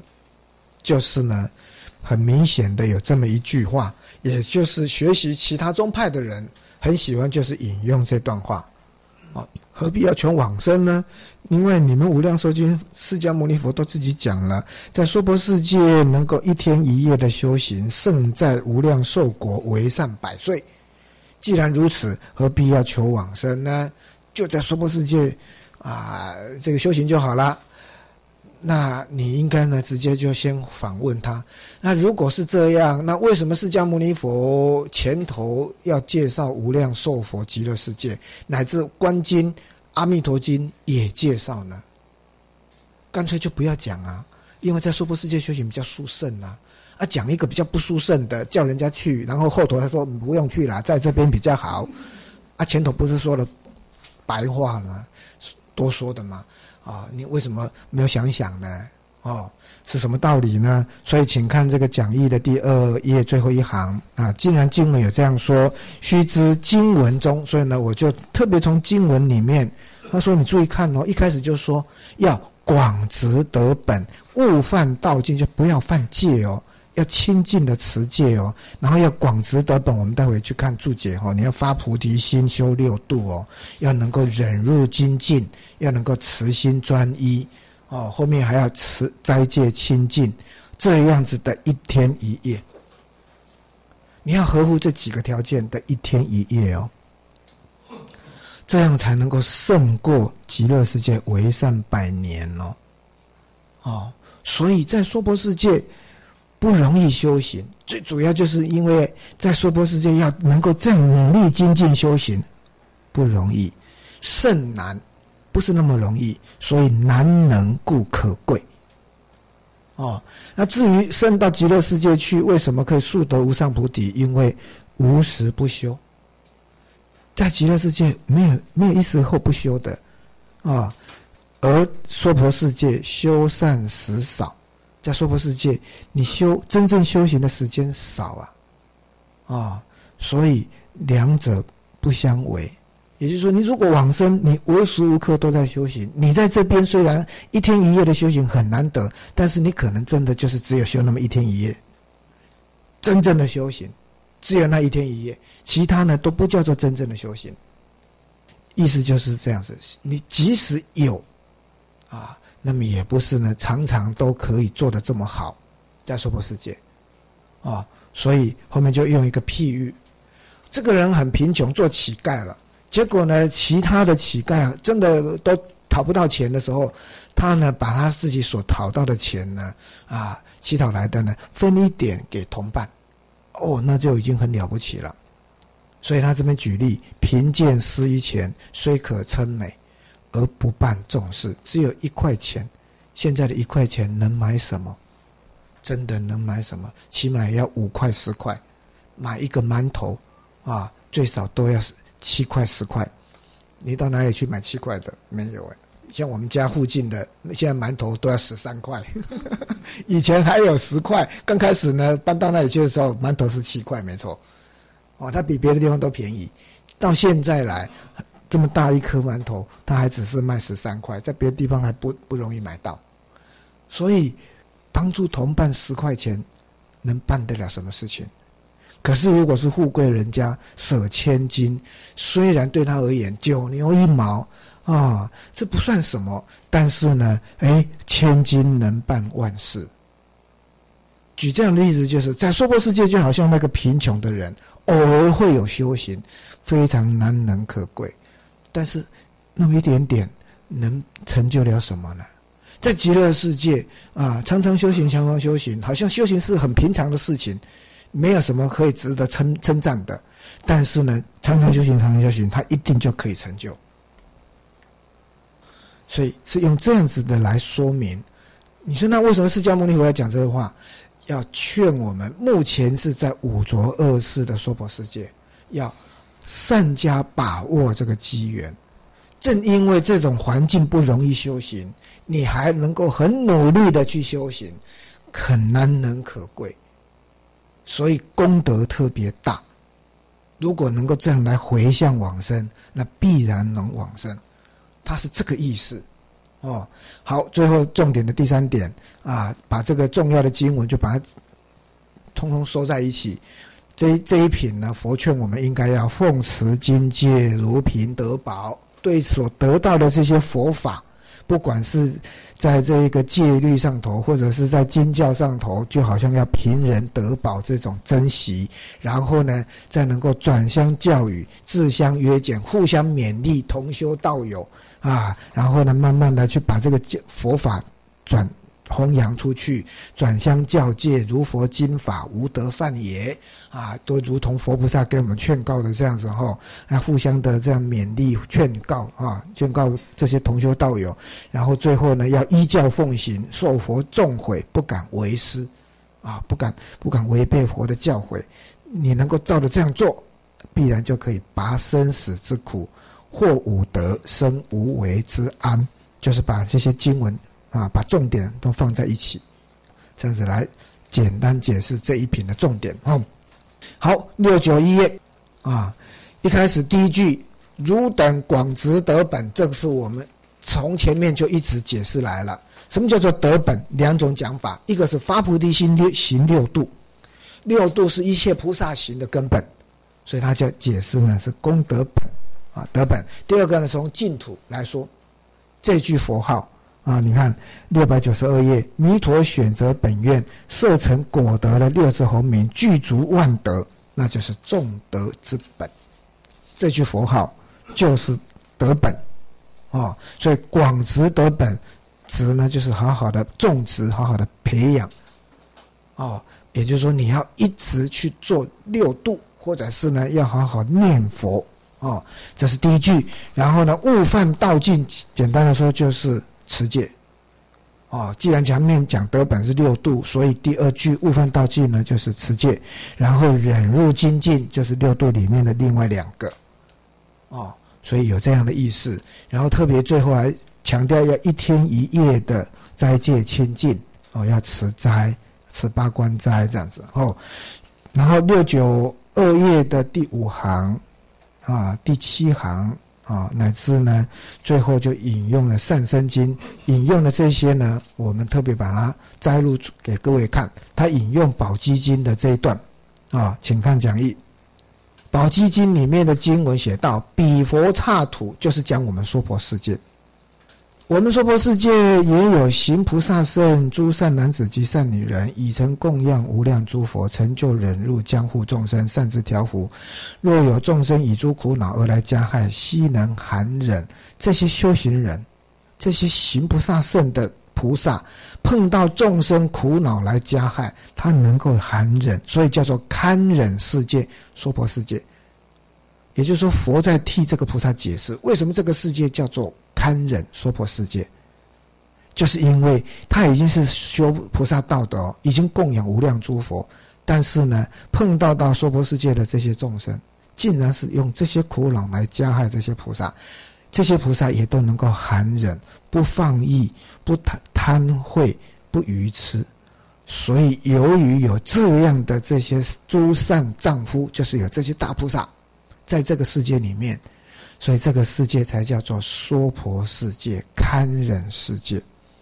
是从菩萨的角度去解释这个世界叫娑婆堪忍世界。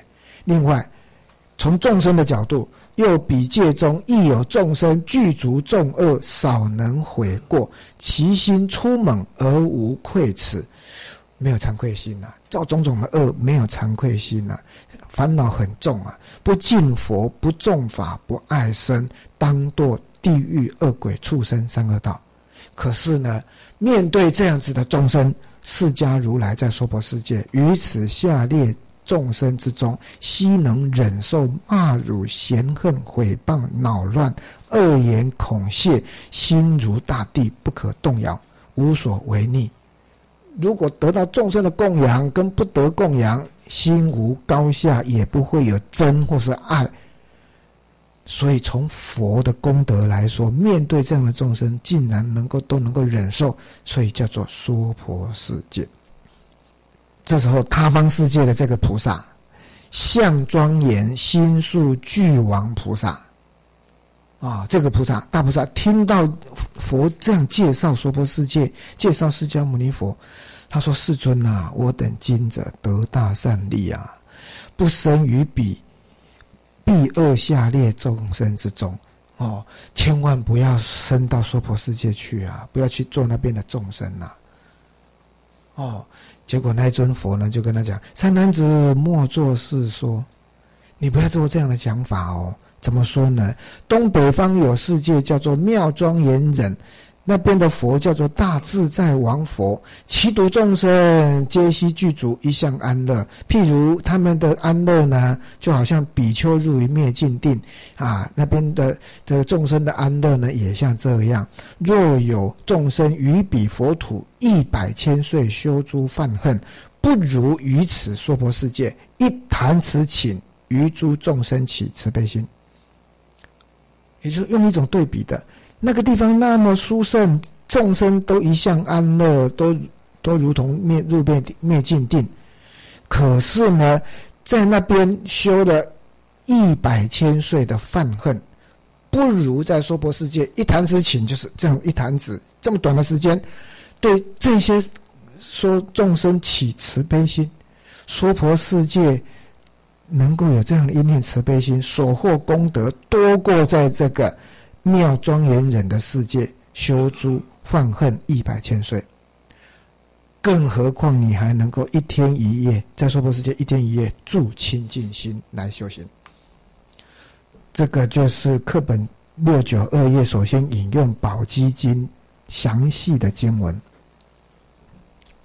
也就是那样的大菩萨一听到那个佛介绍娑婆世界是这样，他说：“哦，希望我不要去那边做那边的众生。”哦哦，还好啊。结果那尊佛说：“哦，你不要这样说。”如果你是已经在修菩萨道的，你真的要累积你的功德，你到娑婆世界去修行，你累积功德更快，有这样的意思。因为你只要一念起起慈悲心，你行菩萨道已经行这么久，你一定可以起慈悲心的。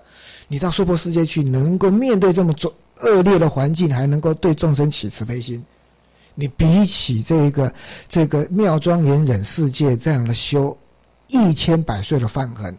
功德还大，这是宝积经的意思。那第二个经思义经一样的，思义梵天所问经的续品，你看日月光佛国啊，这边的佛叫日月光佛，有诸菩萨薄其佛言：“世尊，我得大利，不生如是恶众生中。”这句话跟上面那个那个像庄严心秀诸王菩萨的讲法一样，还好我没有升到那边去。哦，那么祈佛告言：“三男子勿作是语啊！所以者何？若菩萨于此国中，就是就是好的这个世界啊，百千亿劫进修犯恨，不如彼土就是娑婆，从旦至时，从清晨到早上中间中午吃饭的时间，能够保持无嗔爱心。你的这样的修法，在娑婆世界。”短暂时间保持内心不要嗔爱心，你的福比起在我们我们这里修百千亿劫的犯恨，哦，所以呢，那菩萨呢，哎，就称赞说这个我们说娑婆世界的释迦牟尼佛了，世尊大名称普闻于十方，所在诸如来无不称叹者，有诸于净国无三恶道名，舍如是妙土，慈悲故生。此佛智无减少，与诸如来等以大慈本愿处施惠恶土，处在这种这么糟糕的娑婆世界了哈，恶土了哈，秽污秽。若人于晋国持戒满一劫，此土须臾间行持为最胜。就是课本引用的就是这一段。如果你在清净的佛国持戒满一劫。还不如在娑婆世界须臾间能够发一念慈悲心，做出对慈悲、做做做出对众生有慈悲、拔苦与乐的行为。哦，所以是这样子的。寄送来称赞娑婆世界，我见喜乐国，即见安乐土，此中无苦恼。安乐土就是极乐世界，亦无苦恼民。于彼做功德，未足以为奇。于此烦恼处，就是娑婆世界，此就是娑婆世界。能忍不可思议，教他此法，啊，其虎最为胜，啊，这也就是课本课本所引用的，啊，他说在喜乐国就是。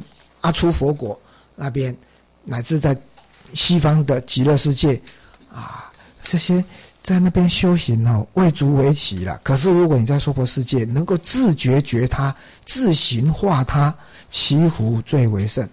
所以呢，专门要礼敬那个无上尊，就是释迦牟尼佛，是大悲救苦者，能为恶众生说法甚为难。大家都非常赞叹娑婆世界的释迦牟尼佛，我们的本师。哦，所以，所以这一段呢，就是告诉我们，你能够好好把握在娑婆世界的这个机缘，好好修行，好好修菩萨道，胜过在这些其他的净土修行。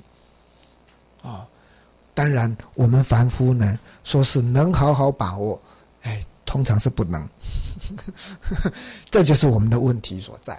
所以，真正会修菩萨道的，他不怕来娑婆世界行菩萨道。那我们呢，也知道在娑婆世界修菩萨道很殊胜啊！不要说修菩萨道，自己修行都成问题，所以才要说我赶快发愿到极乐世界去训练训练。把自己训练好，哦，再回来娑婆世界累积功德就快了。哦，是这样，否则在这边虽然环境很适合修菩萨道，但是我们没没没那个资格，啊。所以才要劝大家往生，是这个意思。然后再来，他又引用《上生经》六百九十二页的倒数第五行，《上生经》引用这个弥勒出世百年受灾，不如我世一日一夜等等这些，请看讲义第三第四页，《上生经》其实就是《优婆塞戒经》，又称为《上生经》《优婆塞戒本》。为什么？为什么又叫善生经？因为这里面是佛为善生长者说的大圣优婆塞戒，再加菩萨戒，哦的一个经典，在大正藏二十四册课本所引用的经文就在八戒斋品这一品二十一品。凡是斋日悉断诸恶伐戮之事。若能如是亲近受持八戒斋者，世人则得无量果报之无上乐，乃至弥勒出世的时候，就是弥勒佛出现世间的时候，那个地那个时候，如果你一百年都持续受持八戒斋受斋，不如我是就释迦牟尼佛五浊恶世人寿百岁的时候的一天一夜。为什么？因为这个时候。众生具无止故，就是无着。环境太恶劣了，在这样恶劣的环境里面，你既然能够一天一夜亲近持八戒斋，胜过在弥勒佛出世的时候受持一百年。所以这就是课本所引用的啊。那么是八戒斋，即是庄严无上菩提之璎珞也，不是课。如果你是旧本的哈。不是无上菩提之路，不是路，是璎珞。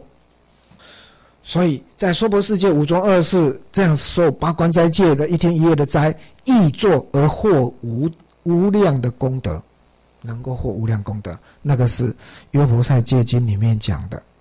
哦，所以引用三本经，让你对比，让你了解《无量寿经》这个意思。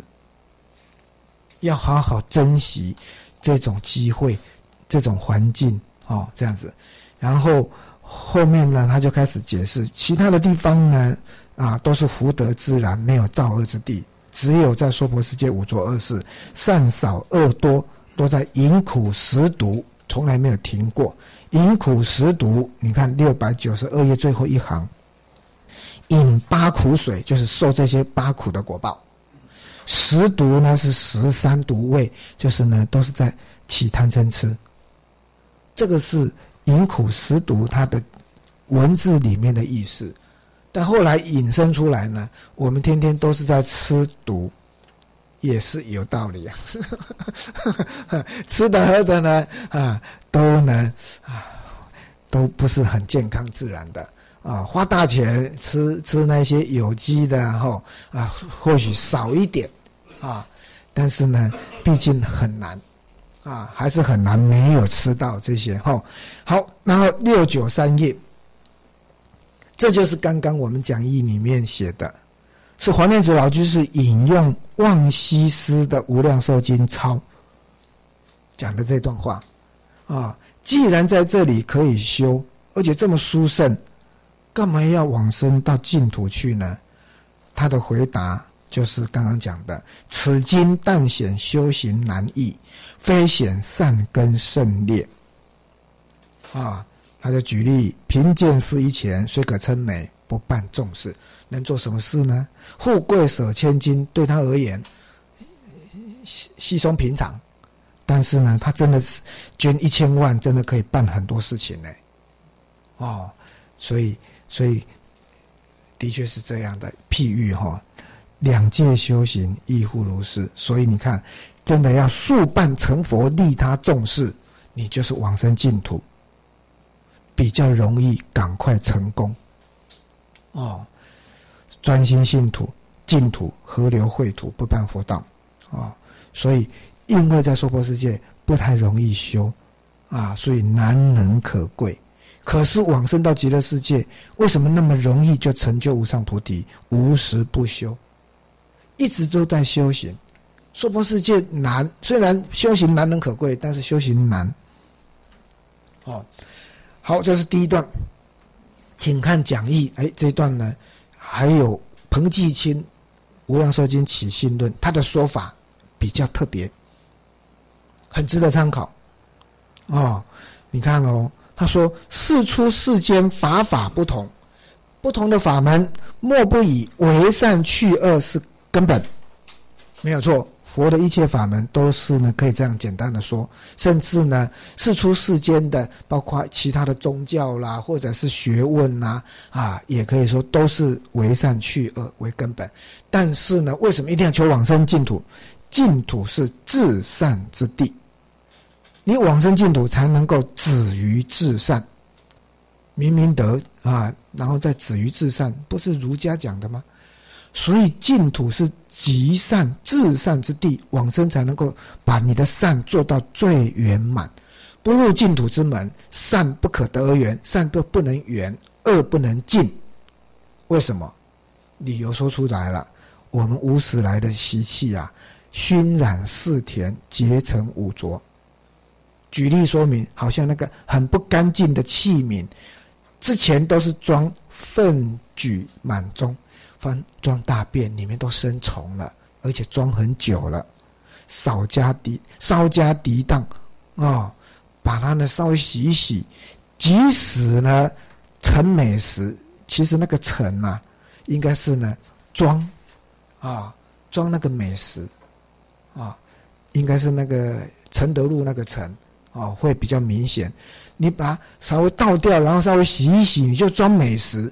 你拿到了，还是觉得哎呦，怎么臭臭的？它就是这个譬喻，哦，你虽然把它洗过，但是那个洗那个味道太重，哦，所以你装的美食，你还是觉得臭臭的。就像娑婆世界，你稍微修行，好像呢好一点，就像这样稍加涤荡，然后你又装的美食，就好像学了很多佛法，结果呢还是臭秽如故。为什么习气太重？可是如果生净土以见佛闻法正无生忍，把根源恶缘给它完全消除，啊，失获善本善根的根本就真正得到了。然后这时候回入尘劳，弘宣正教，摄诸众生往生极乐，是为善与人同，也就是呢，《大学》里面讲的明明德于天下，止于至善。大学之道在于明明德啊，在止于至善，他就是配合这个话来说。再来假设一个问答：修禅的人常说呢，没有善，没有恶啦，啊，恒言无善。如言啊，儒家是说要要止于至善。那至善跟无善何以不同？答：如果是善恶相对的善，有善之善是对着恶来讲的善。哦。恶既不立，善亦不居，所以这个就是禅宗修禅的人讲的无善，是因为你是善恶相对的。如果没有恶，哪来的善？你还有恶可除，那就不是真正的清净平等啊！所以唯一真心遍周法界，横沙万德，极尔周圆，才能够真正的一下子全部圆满周遍了。啊，甚不可知，所过者化无善之善，思为至善。所以儒家讲的至善，就好比在没有善恶相对的善，是就近的善，真正修到就近，你的功德圆满的善，这种无善之善，才叫做至善。而不是偏到一边变成断灭，口淡说空，行在有中，结果恶业自然，妄称无善。哦，会讲会讲都是空，所以没有善恶相对，结果是行在有中，恶业自然。这样话是行尸走肉，是地狱渣，无莫如何，佛也渡不了。哦，后面这段话就写的很严重了。意思就是我们要了解，止于至善，起码人家是真的好好去做，做到最就近，就是呢，这个善呢，遍满尽虚空，遍法界，可以把儒家跟佛家的合在一起。但是如果你禅宗的没讲好，就可能走错了。而如果你真的了解这个无禅宗的无善，是从离体来说，善恶是相对的。你了解到善恶相对的善恶离体都是空性，把这个空性发挥到极处，啊，功德圆满，周遍法界，那就是至善。这才是真真正的善，哦，而不是偏到一边妄称无善，结果造了很多恶业。哦，这样是不对的。他这一段的意思是这个。那为什么前面这样讲，后面突然讲到这些呢？就是不要忘记，他前面就问说，为什么一定要往生？因为我们的习气太重。如果没有好的环境，甚至你已经在学佛了，在学不同的法门了，包括禅宗啦、教理啦等等，啊，你就可能会误解你的你的善呢，就走不到圆满的地方。但是如果你能够往生，啊，在你对于这种无善可言，从理理上无善来说，你可以进化到真正的究竟圆满的善。他之所以会假设那个问答。就是说，真的能够圆满的善，是在极乐世界，哦，那这个是他的意思，哦，好，所以这个是补充说明啊，六九三页的这一段，哦，然后再来无哀如等苦心回忆这一段，他说这一段的黄念祖老居士，你看，重重回免，唯愿大众奉持经戒。哦，也就是说，佛为什么要讲这些教法，就是他的慈悲心，他自他特别发愿，要在五浊恶世，人寿百岁的五浊恶世出现世间成佛，然后呢，弘扬这些佛法，让众生在五浊恶世的苦难的众生、烦恼重的众生，能够有机会翻转过来。这就是本世释迦牟尼佛的悲愿了。所以才说无爱如等苦心回欲受以经法，希望我们能够持师之奉行之啊！所以你看六百九十四页，六九四页的第五行，持受持思是思维，奉奉行奉行之，就是呢依教奉行，能够相信，能够依教奉行。然后自己能够依教奉行，自立于诸亲友转相教育利他。哦，那亲友就是经文讲的尊卑男女眷属朋友，你所碰到的这些周遭的这些亲朋好友，你能够自己依教奉行，也希望能够呢转相教育，把这些佛法传扬出去。所以黄念祖老居士是说，如果不说法度众生，就没有。报佛恩了啊！你你要报佛恩，就是要说法度众生哦。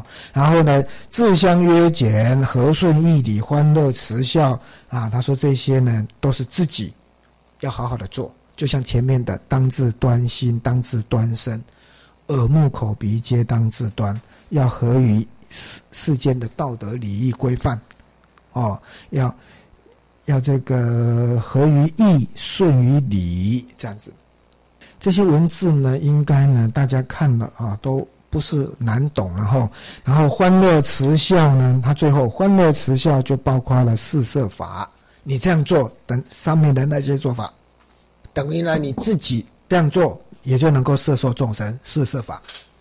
六百九十五页这边呢，所作如幻，则自悔过；去恶就善，朝闻细感。后，就说如果。你依教奉行，不是一下子马上就能够完全做到，做不到了，那你就要好好忏悔，哦，所以，所以这一段呢，就是一开始先叫我们要悔过啊，然后呢要朝闻夕改，然后中间的如贫得宝，奉持经戒如贫得宝，他说这一品的品题就用这个，什么意思呢？你好不容易得到这个，你要好好珍惜它的意思。啊，这个我们还没有办法那么好好的体会。如果你你用一个譬喻，在一个沙漠里面，你完全没有水了，结果发现还有好长的路，大漠无垠，这样子哦，看一看哦，还要走多久啊？哦，走半天，走半天的啊，然后越来越渴，越来越渴，完全没有水。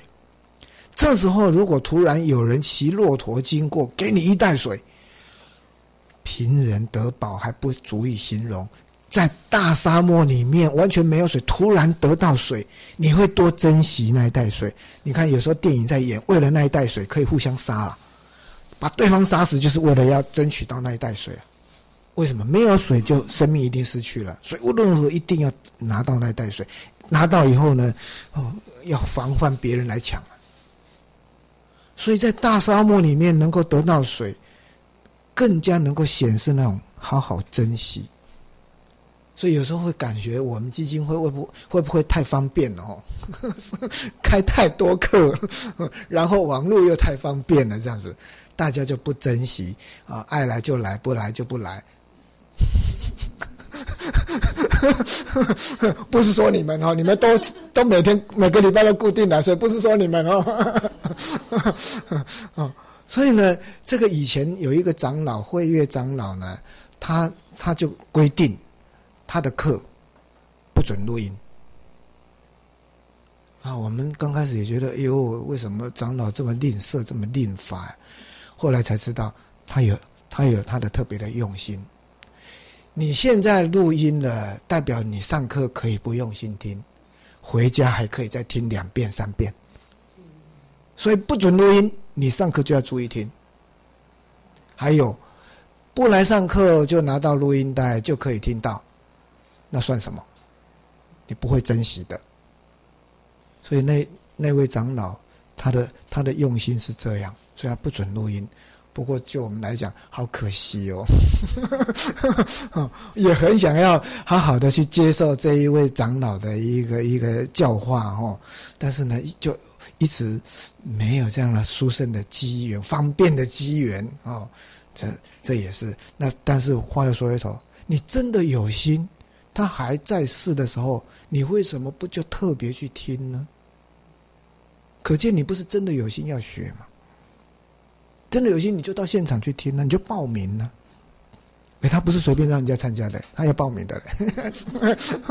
哦，所以啊，所以所以呢，各有利弊。说实在话，哦，严格的要求比较能够升起你尊重、珍惜法宝。哦。但是呢，大开方便门，让有缘的都能够接触到哦。然后入门了之后，你要怎么修行，那就看你自己。所以各各有因缘，各有利弊哦。好，这个是如平得宝啊。再来，这个你看哦，六百九十五页第三行，他就讲了：贫者得珍宝，命根所系，自当全力护持，不肯更失。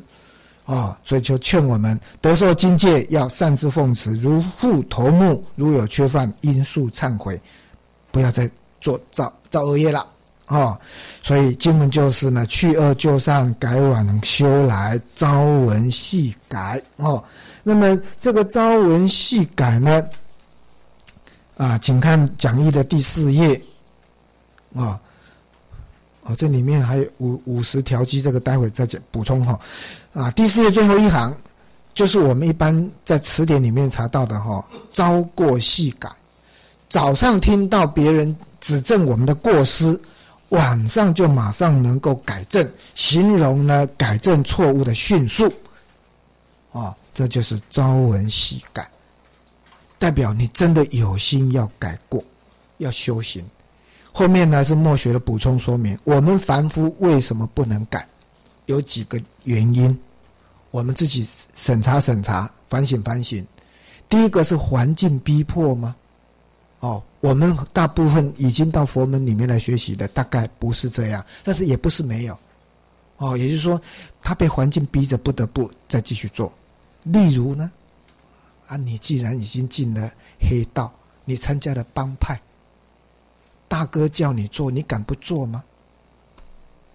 除非你要脱离帮派，你要脱离帮派，你要下定决心，你得要有所，哎，连功下了，开始救了。你要离开，OK，留下一手一脚，才让你离开，不然你就是要混到你变成老大、大哥，说我从此洗手，金盆洗手，啊，才有可能。所以举举这个例子是让大家了解，有时候呢，有过不能改是环境逼迫，但是在我们佛本里面，大概这样子还不是那么多哦，但不是没有。第二，开始这我们自己要认真反省的了，不知道自己有过失，知道以后没有惭愧心，不想改，我把它两个放在一起，哦。都是知道不知道，啊，不知道，所以不知道要改；知道了，没有惭愧心要改。第三点，虽然知道，虽然想改，业力习气所牵，忏悔力量不够。第四个，已经很努力的去忏悔，已经很努力的去对峙，哦，那为什么还是不行呢？精进不够，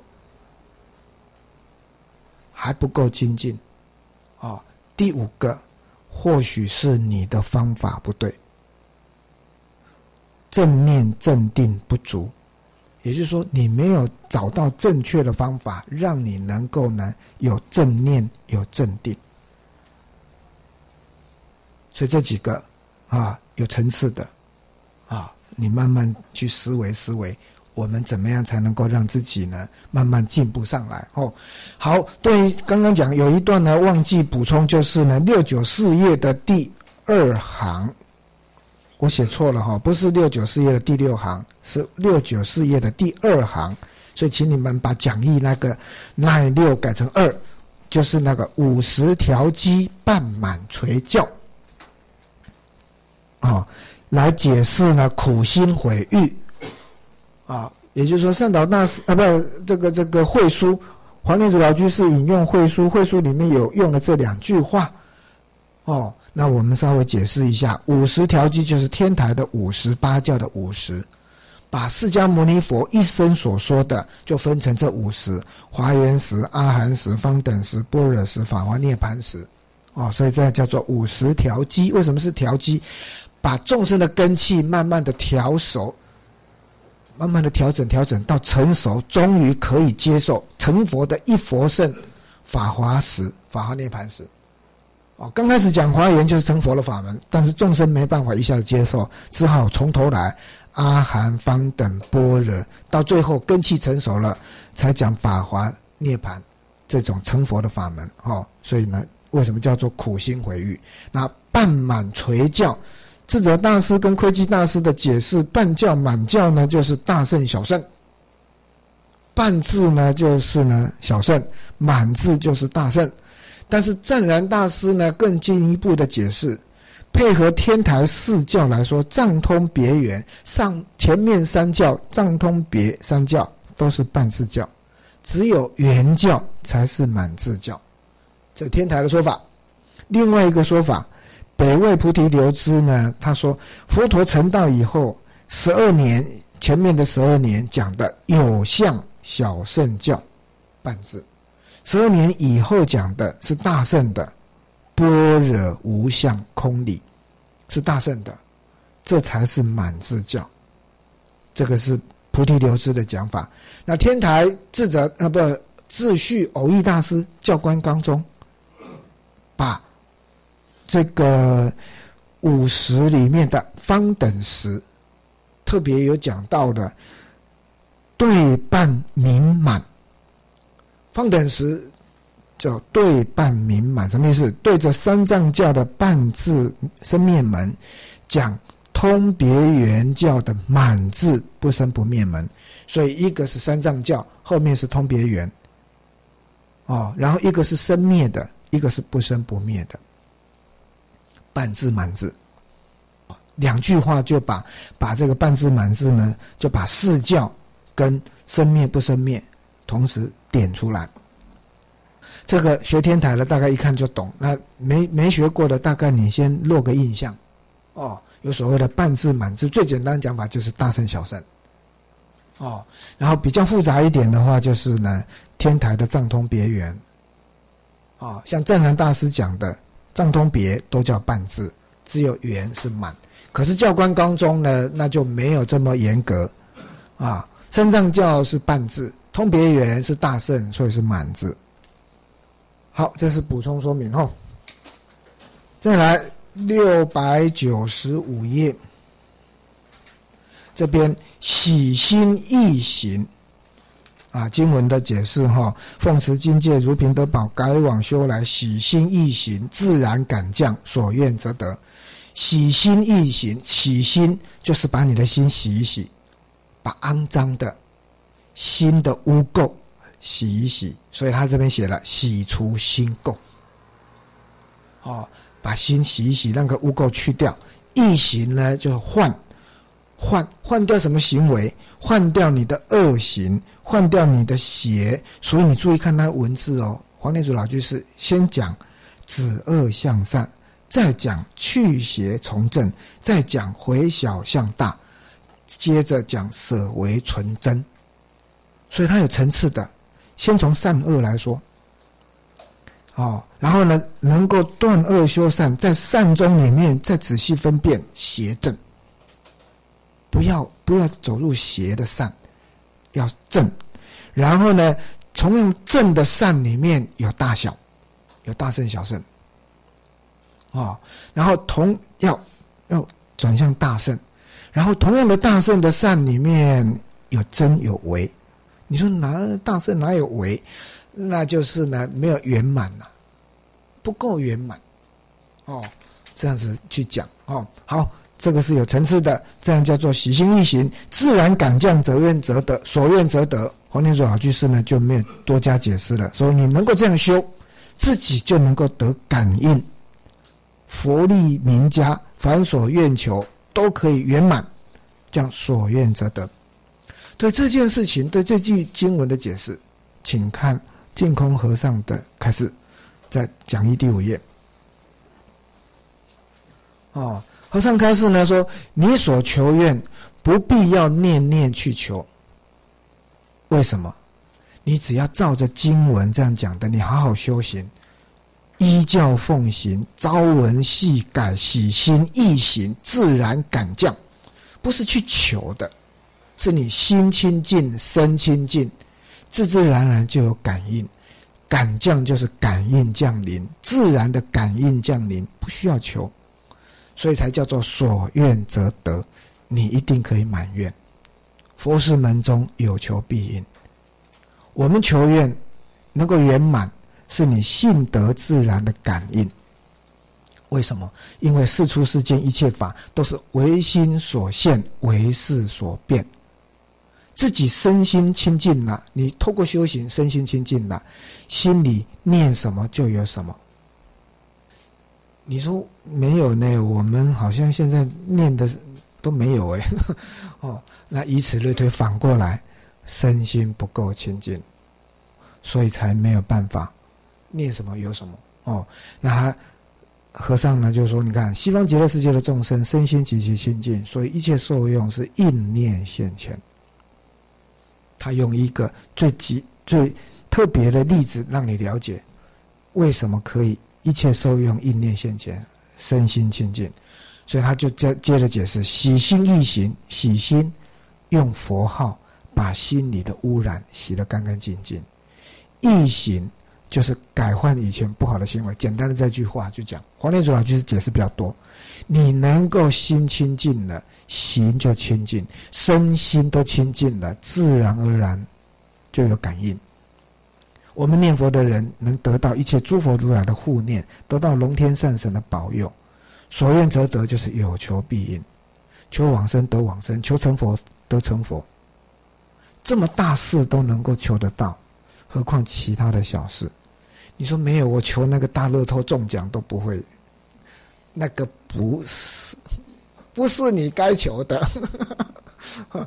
哦，这个听说了哈，听说呢，有人说呢，这种中奖这么大的奖金哈，要给谁中？听说呢，天地鬼神之前都要先开会，然后呢，各地方的这些城隍啊什么哈，都要报上来，比较一下谁的福德。在这个这段期间呢，够资格领这笔钱，哦，所以呢是由城隍，然后呢集合开会之后哈，哎，不晓得是由谁去主管然后听说是这样哦。那那么各位想一想，如果我们是要修行，想要求往生，想要求解脱的，可能成华报报上去都说嗯不错，这个人修行不错，应该得。大概现在呢，呃已经报上去了，观音观世音菩萨会出来说，没赛。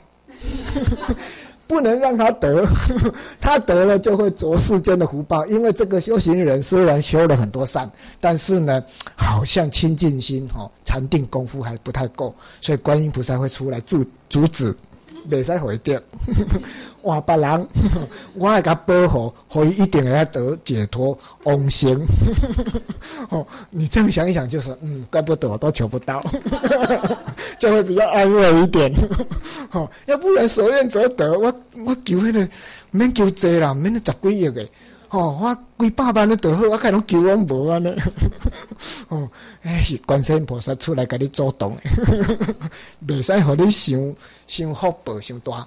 哦，修行人佛弟子的喜爱呢，有一点点苦，才能够维持道心。一声互你想有福报哦，你都未记修行啊。哦，哦，这样想一想，心安了哈。所有的福报都用来求往生就好。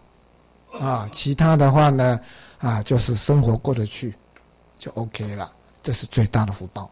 哦，生活过得去，学佛没有障碍，最大的福报。哦，好，所以这边写的，你看哈，求成、求往生、求成佛都能够得到，何况其他小事没有得不到的？真正是有求必应。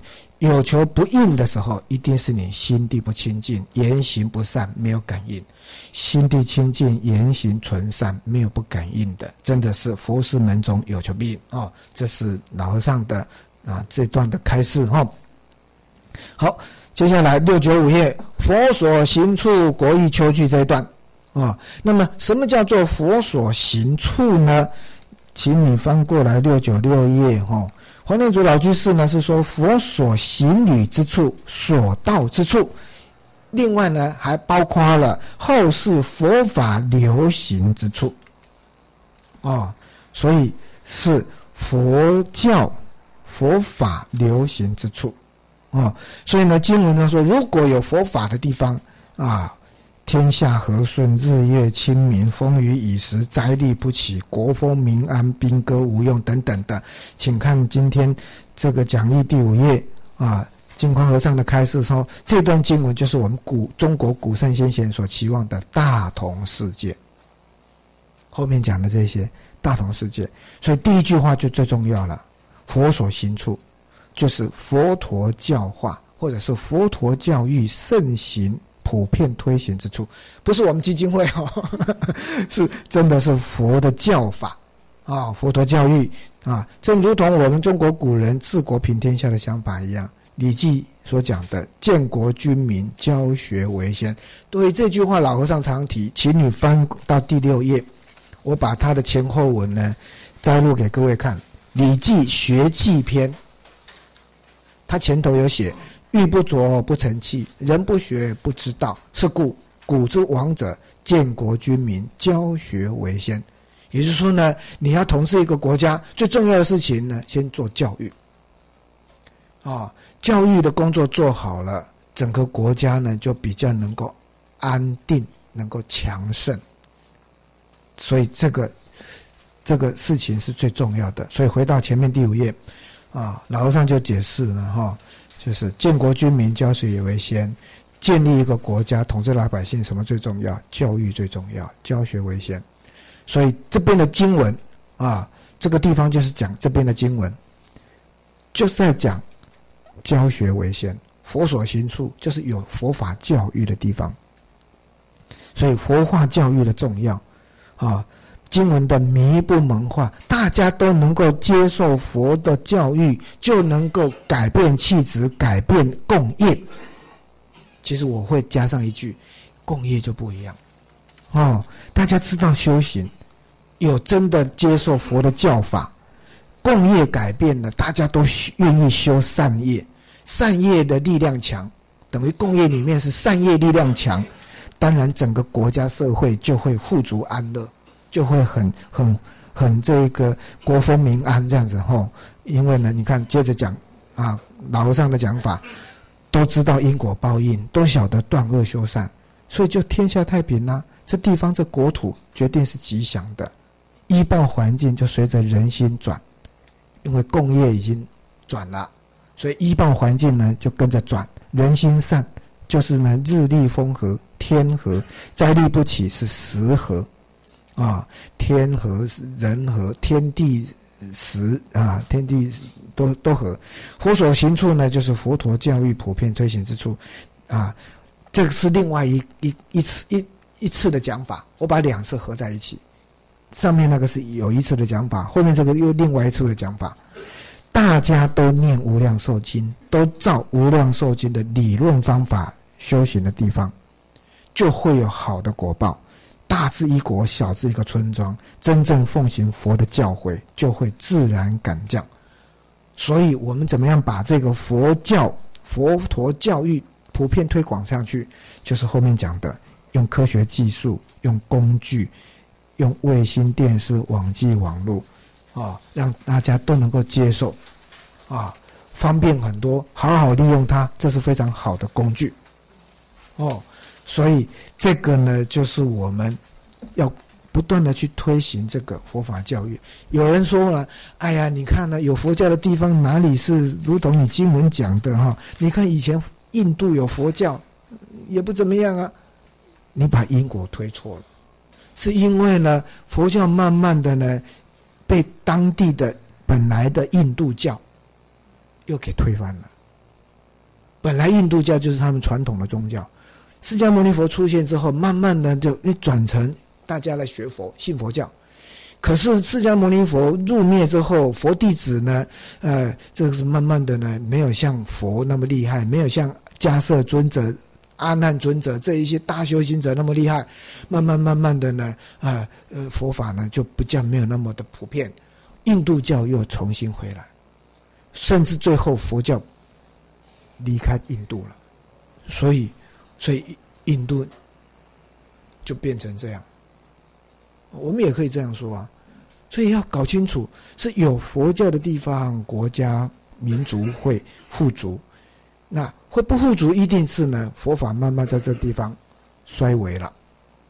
那现在呢，在印度有一批人，啊，在家人、出家人比较少，在家人为主，慢慢希望能够恢复真正的佛教在印度。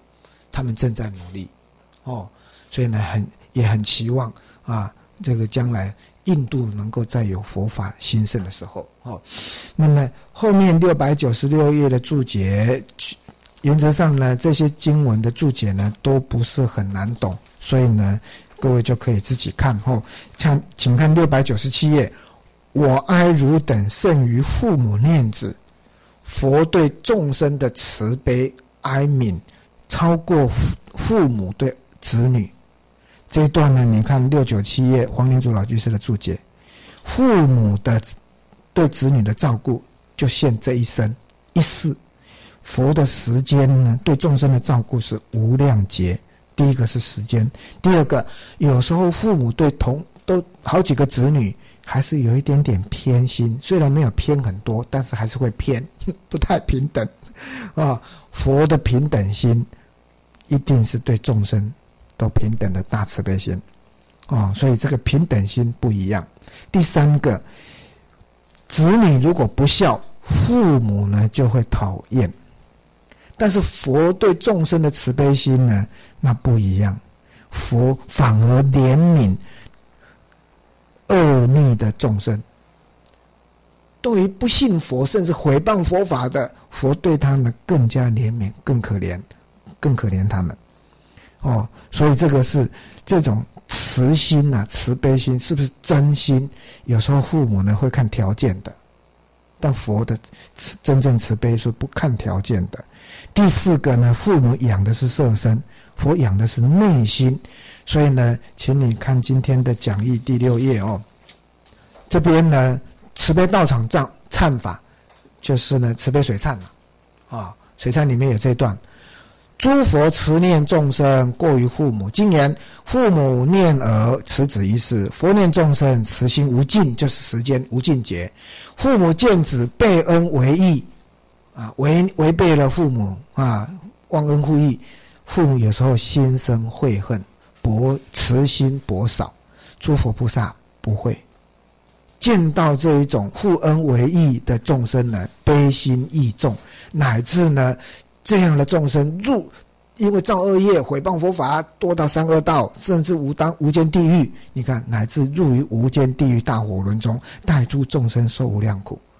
是诸诸佛诸大菩萨爱念众生过于父母，而诸众生无名互会，无名盖住了这种慧心，啊，烦恼负心，于佛菩萨不知归向，说法教化亦不信受，乃至呢出言起于毁谤。未曾发心念诸佛恩，佛都不放弃，佛都没有放弃，哦，所以即使如此，佛慈不减，佛对众生的慈悲心没有减少。最后我补上的就是养育不同，就是课本讲的父母养生，佛呢养我们的慧命法身，哦，所以这就是呢经文胜于父母念子，然后呢再回来课本六九七页，我于此世做佛，就是娑婆世界五浊恶世。成佛，以善攻恶，专门教我们要行善断恶，要能够拔生死之苦，令获五德生无为之安。这个哈，那么后面六九八页的解释，哦，他解释那个无波泥环尽道见灭这句话，啊，佛入灭以后，这些经法慢慢的灭了。啊，佛入灭入涅盘以后，啊，他这边写释迦正法五百年，相法一千年，末法万年。以前我们就跟各位解释过，正法跟相法呢有四种说法，一个五百，一个一千，你就这样互互相配一配哈。正法五百，相法五百，这是第一种。正法五百，相法一千，正法一千，相法五百，一千跟五百互换。这样就两种，最后正法一千，相法一千，第四种，所以总共有这样四种说法。但是呢，这四种说法共同的就是末法都是一万年，这样子，这样就比较好记。所以不管他怎么写，啊，你看，你怎么会五百年？不是一千年吗？哦，刚说了就有这样四种，哦，但是呢。法要灭的时候呢，法灭尽经讲，所楞严经先灭，请看讲义。法灭尽经呢，说在大正藏十二册，但是呢，没有易经的人名，这是比较会让人家怀疑的地方哦。还有呢，佛林涅盘说末世魔众比丘不如法事，袈裟变白。你说那袈裟不能白的吗？不可以，一定要坏色。青青色的、黑色的，哈，不可以是白色的，所以这个是法灭之相。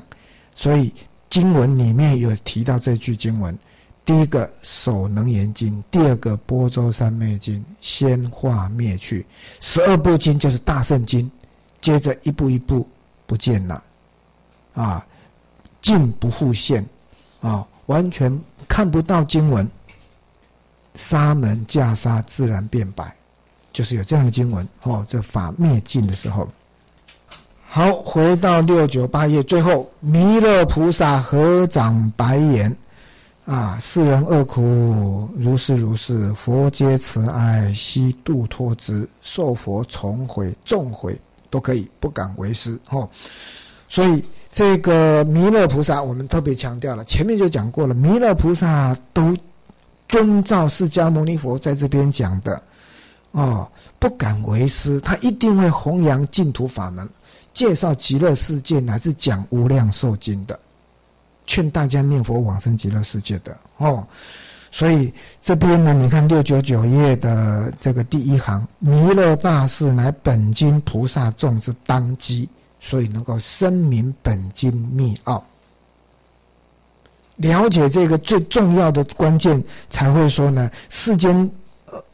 世间人恶苦如是如是，但是呢，佛的慈悲悉度脱之。为什么黄天祖老居士要这样注解？因为弥勒菩萨才了解这本经的真正的秘奥、关键、最重要的，所以他敢讲，能够帮助一切众生都能够得解脱。悉度脱之，哦，所以他引用绝症结果二十二品，这段经文在四百七十页。善男子、善女人，以生当生往生极乐世界，已经往生的或是将来要往生的，皆悉住于正定句，决定成佛，正于阿耨多罗三藐三菩提。这不就是悉度脱之吗？阿弥陀经有这段经文：以发愿，经发愿，当发愿，皆得不对转于阿耨多罗三藐三菩提。啊，都以生今生当生这样子。哦，所以请看讲义：悉度脱之。佛说一切法为度一切众。你真的体会到，都能够度一切众生，用念佛法门来度脱众生，三根普披，立顿全收。五逆十二皆可度脱，弥勒大士深领佛悔，故合掌敬谢赞叹如来。啊，的确是这样，而且说受佛重悔，不敢为师，所以一定要学弥勒菩萨。哦，要体会佛的释迦牟尼佛本是释迦牟尼佛的慈悲，效法这一种佛，效法弥勒菩萨。发心弘扬净土法门，来度脱一切众生。哦，希望各位能够这样子哈。最后，众受佛众悔还是重悔？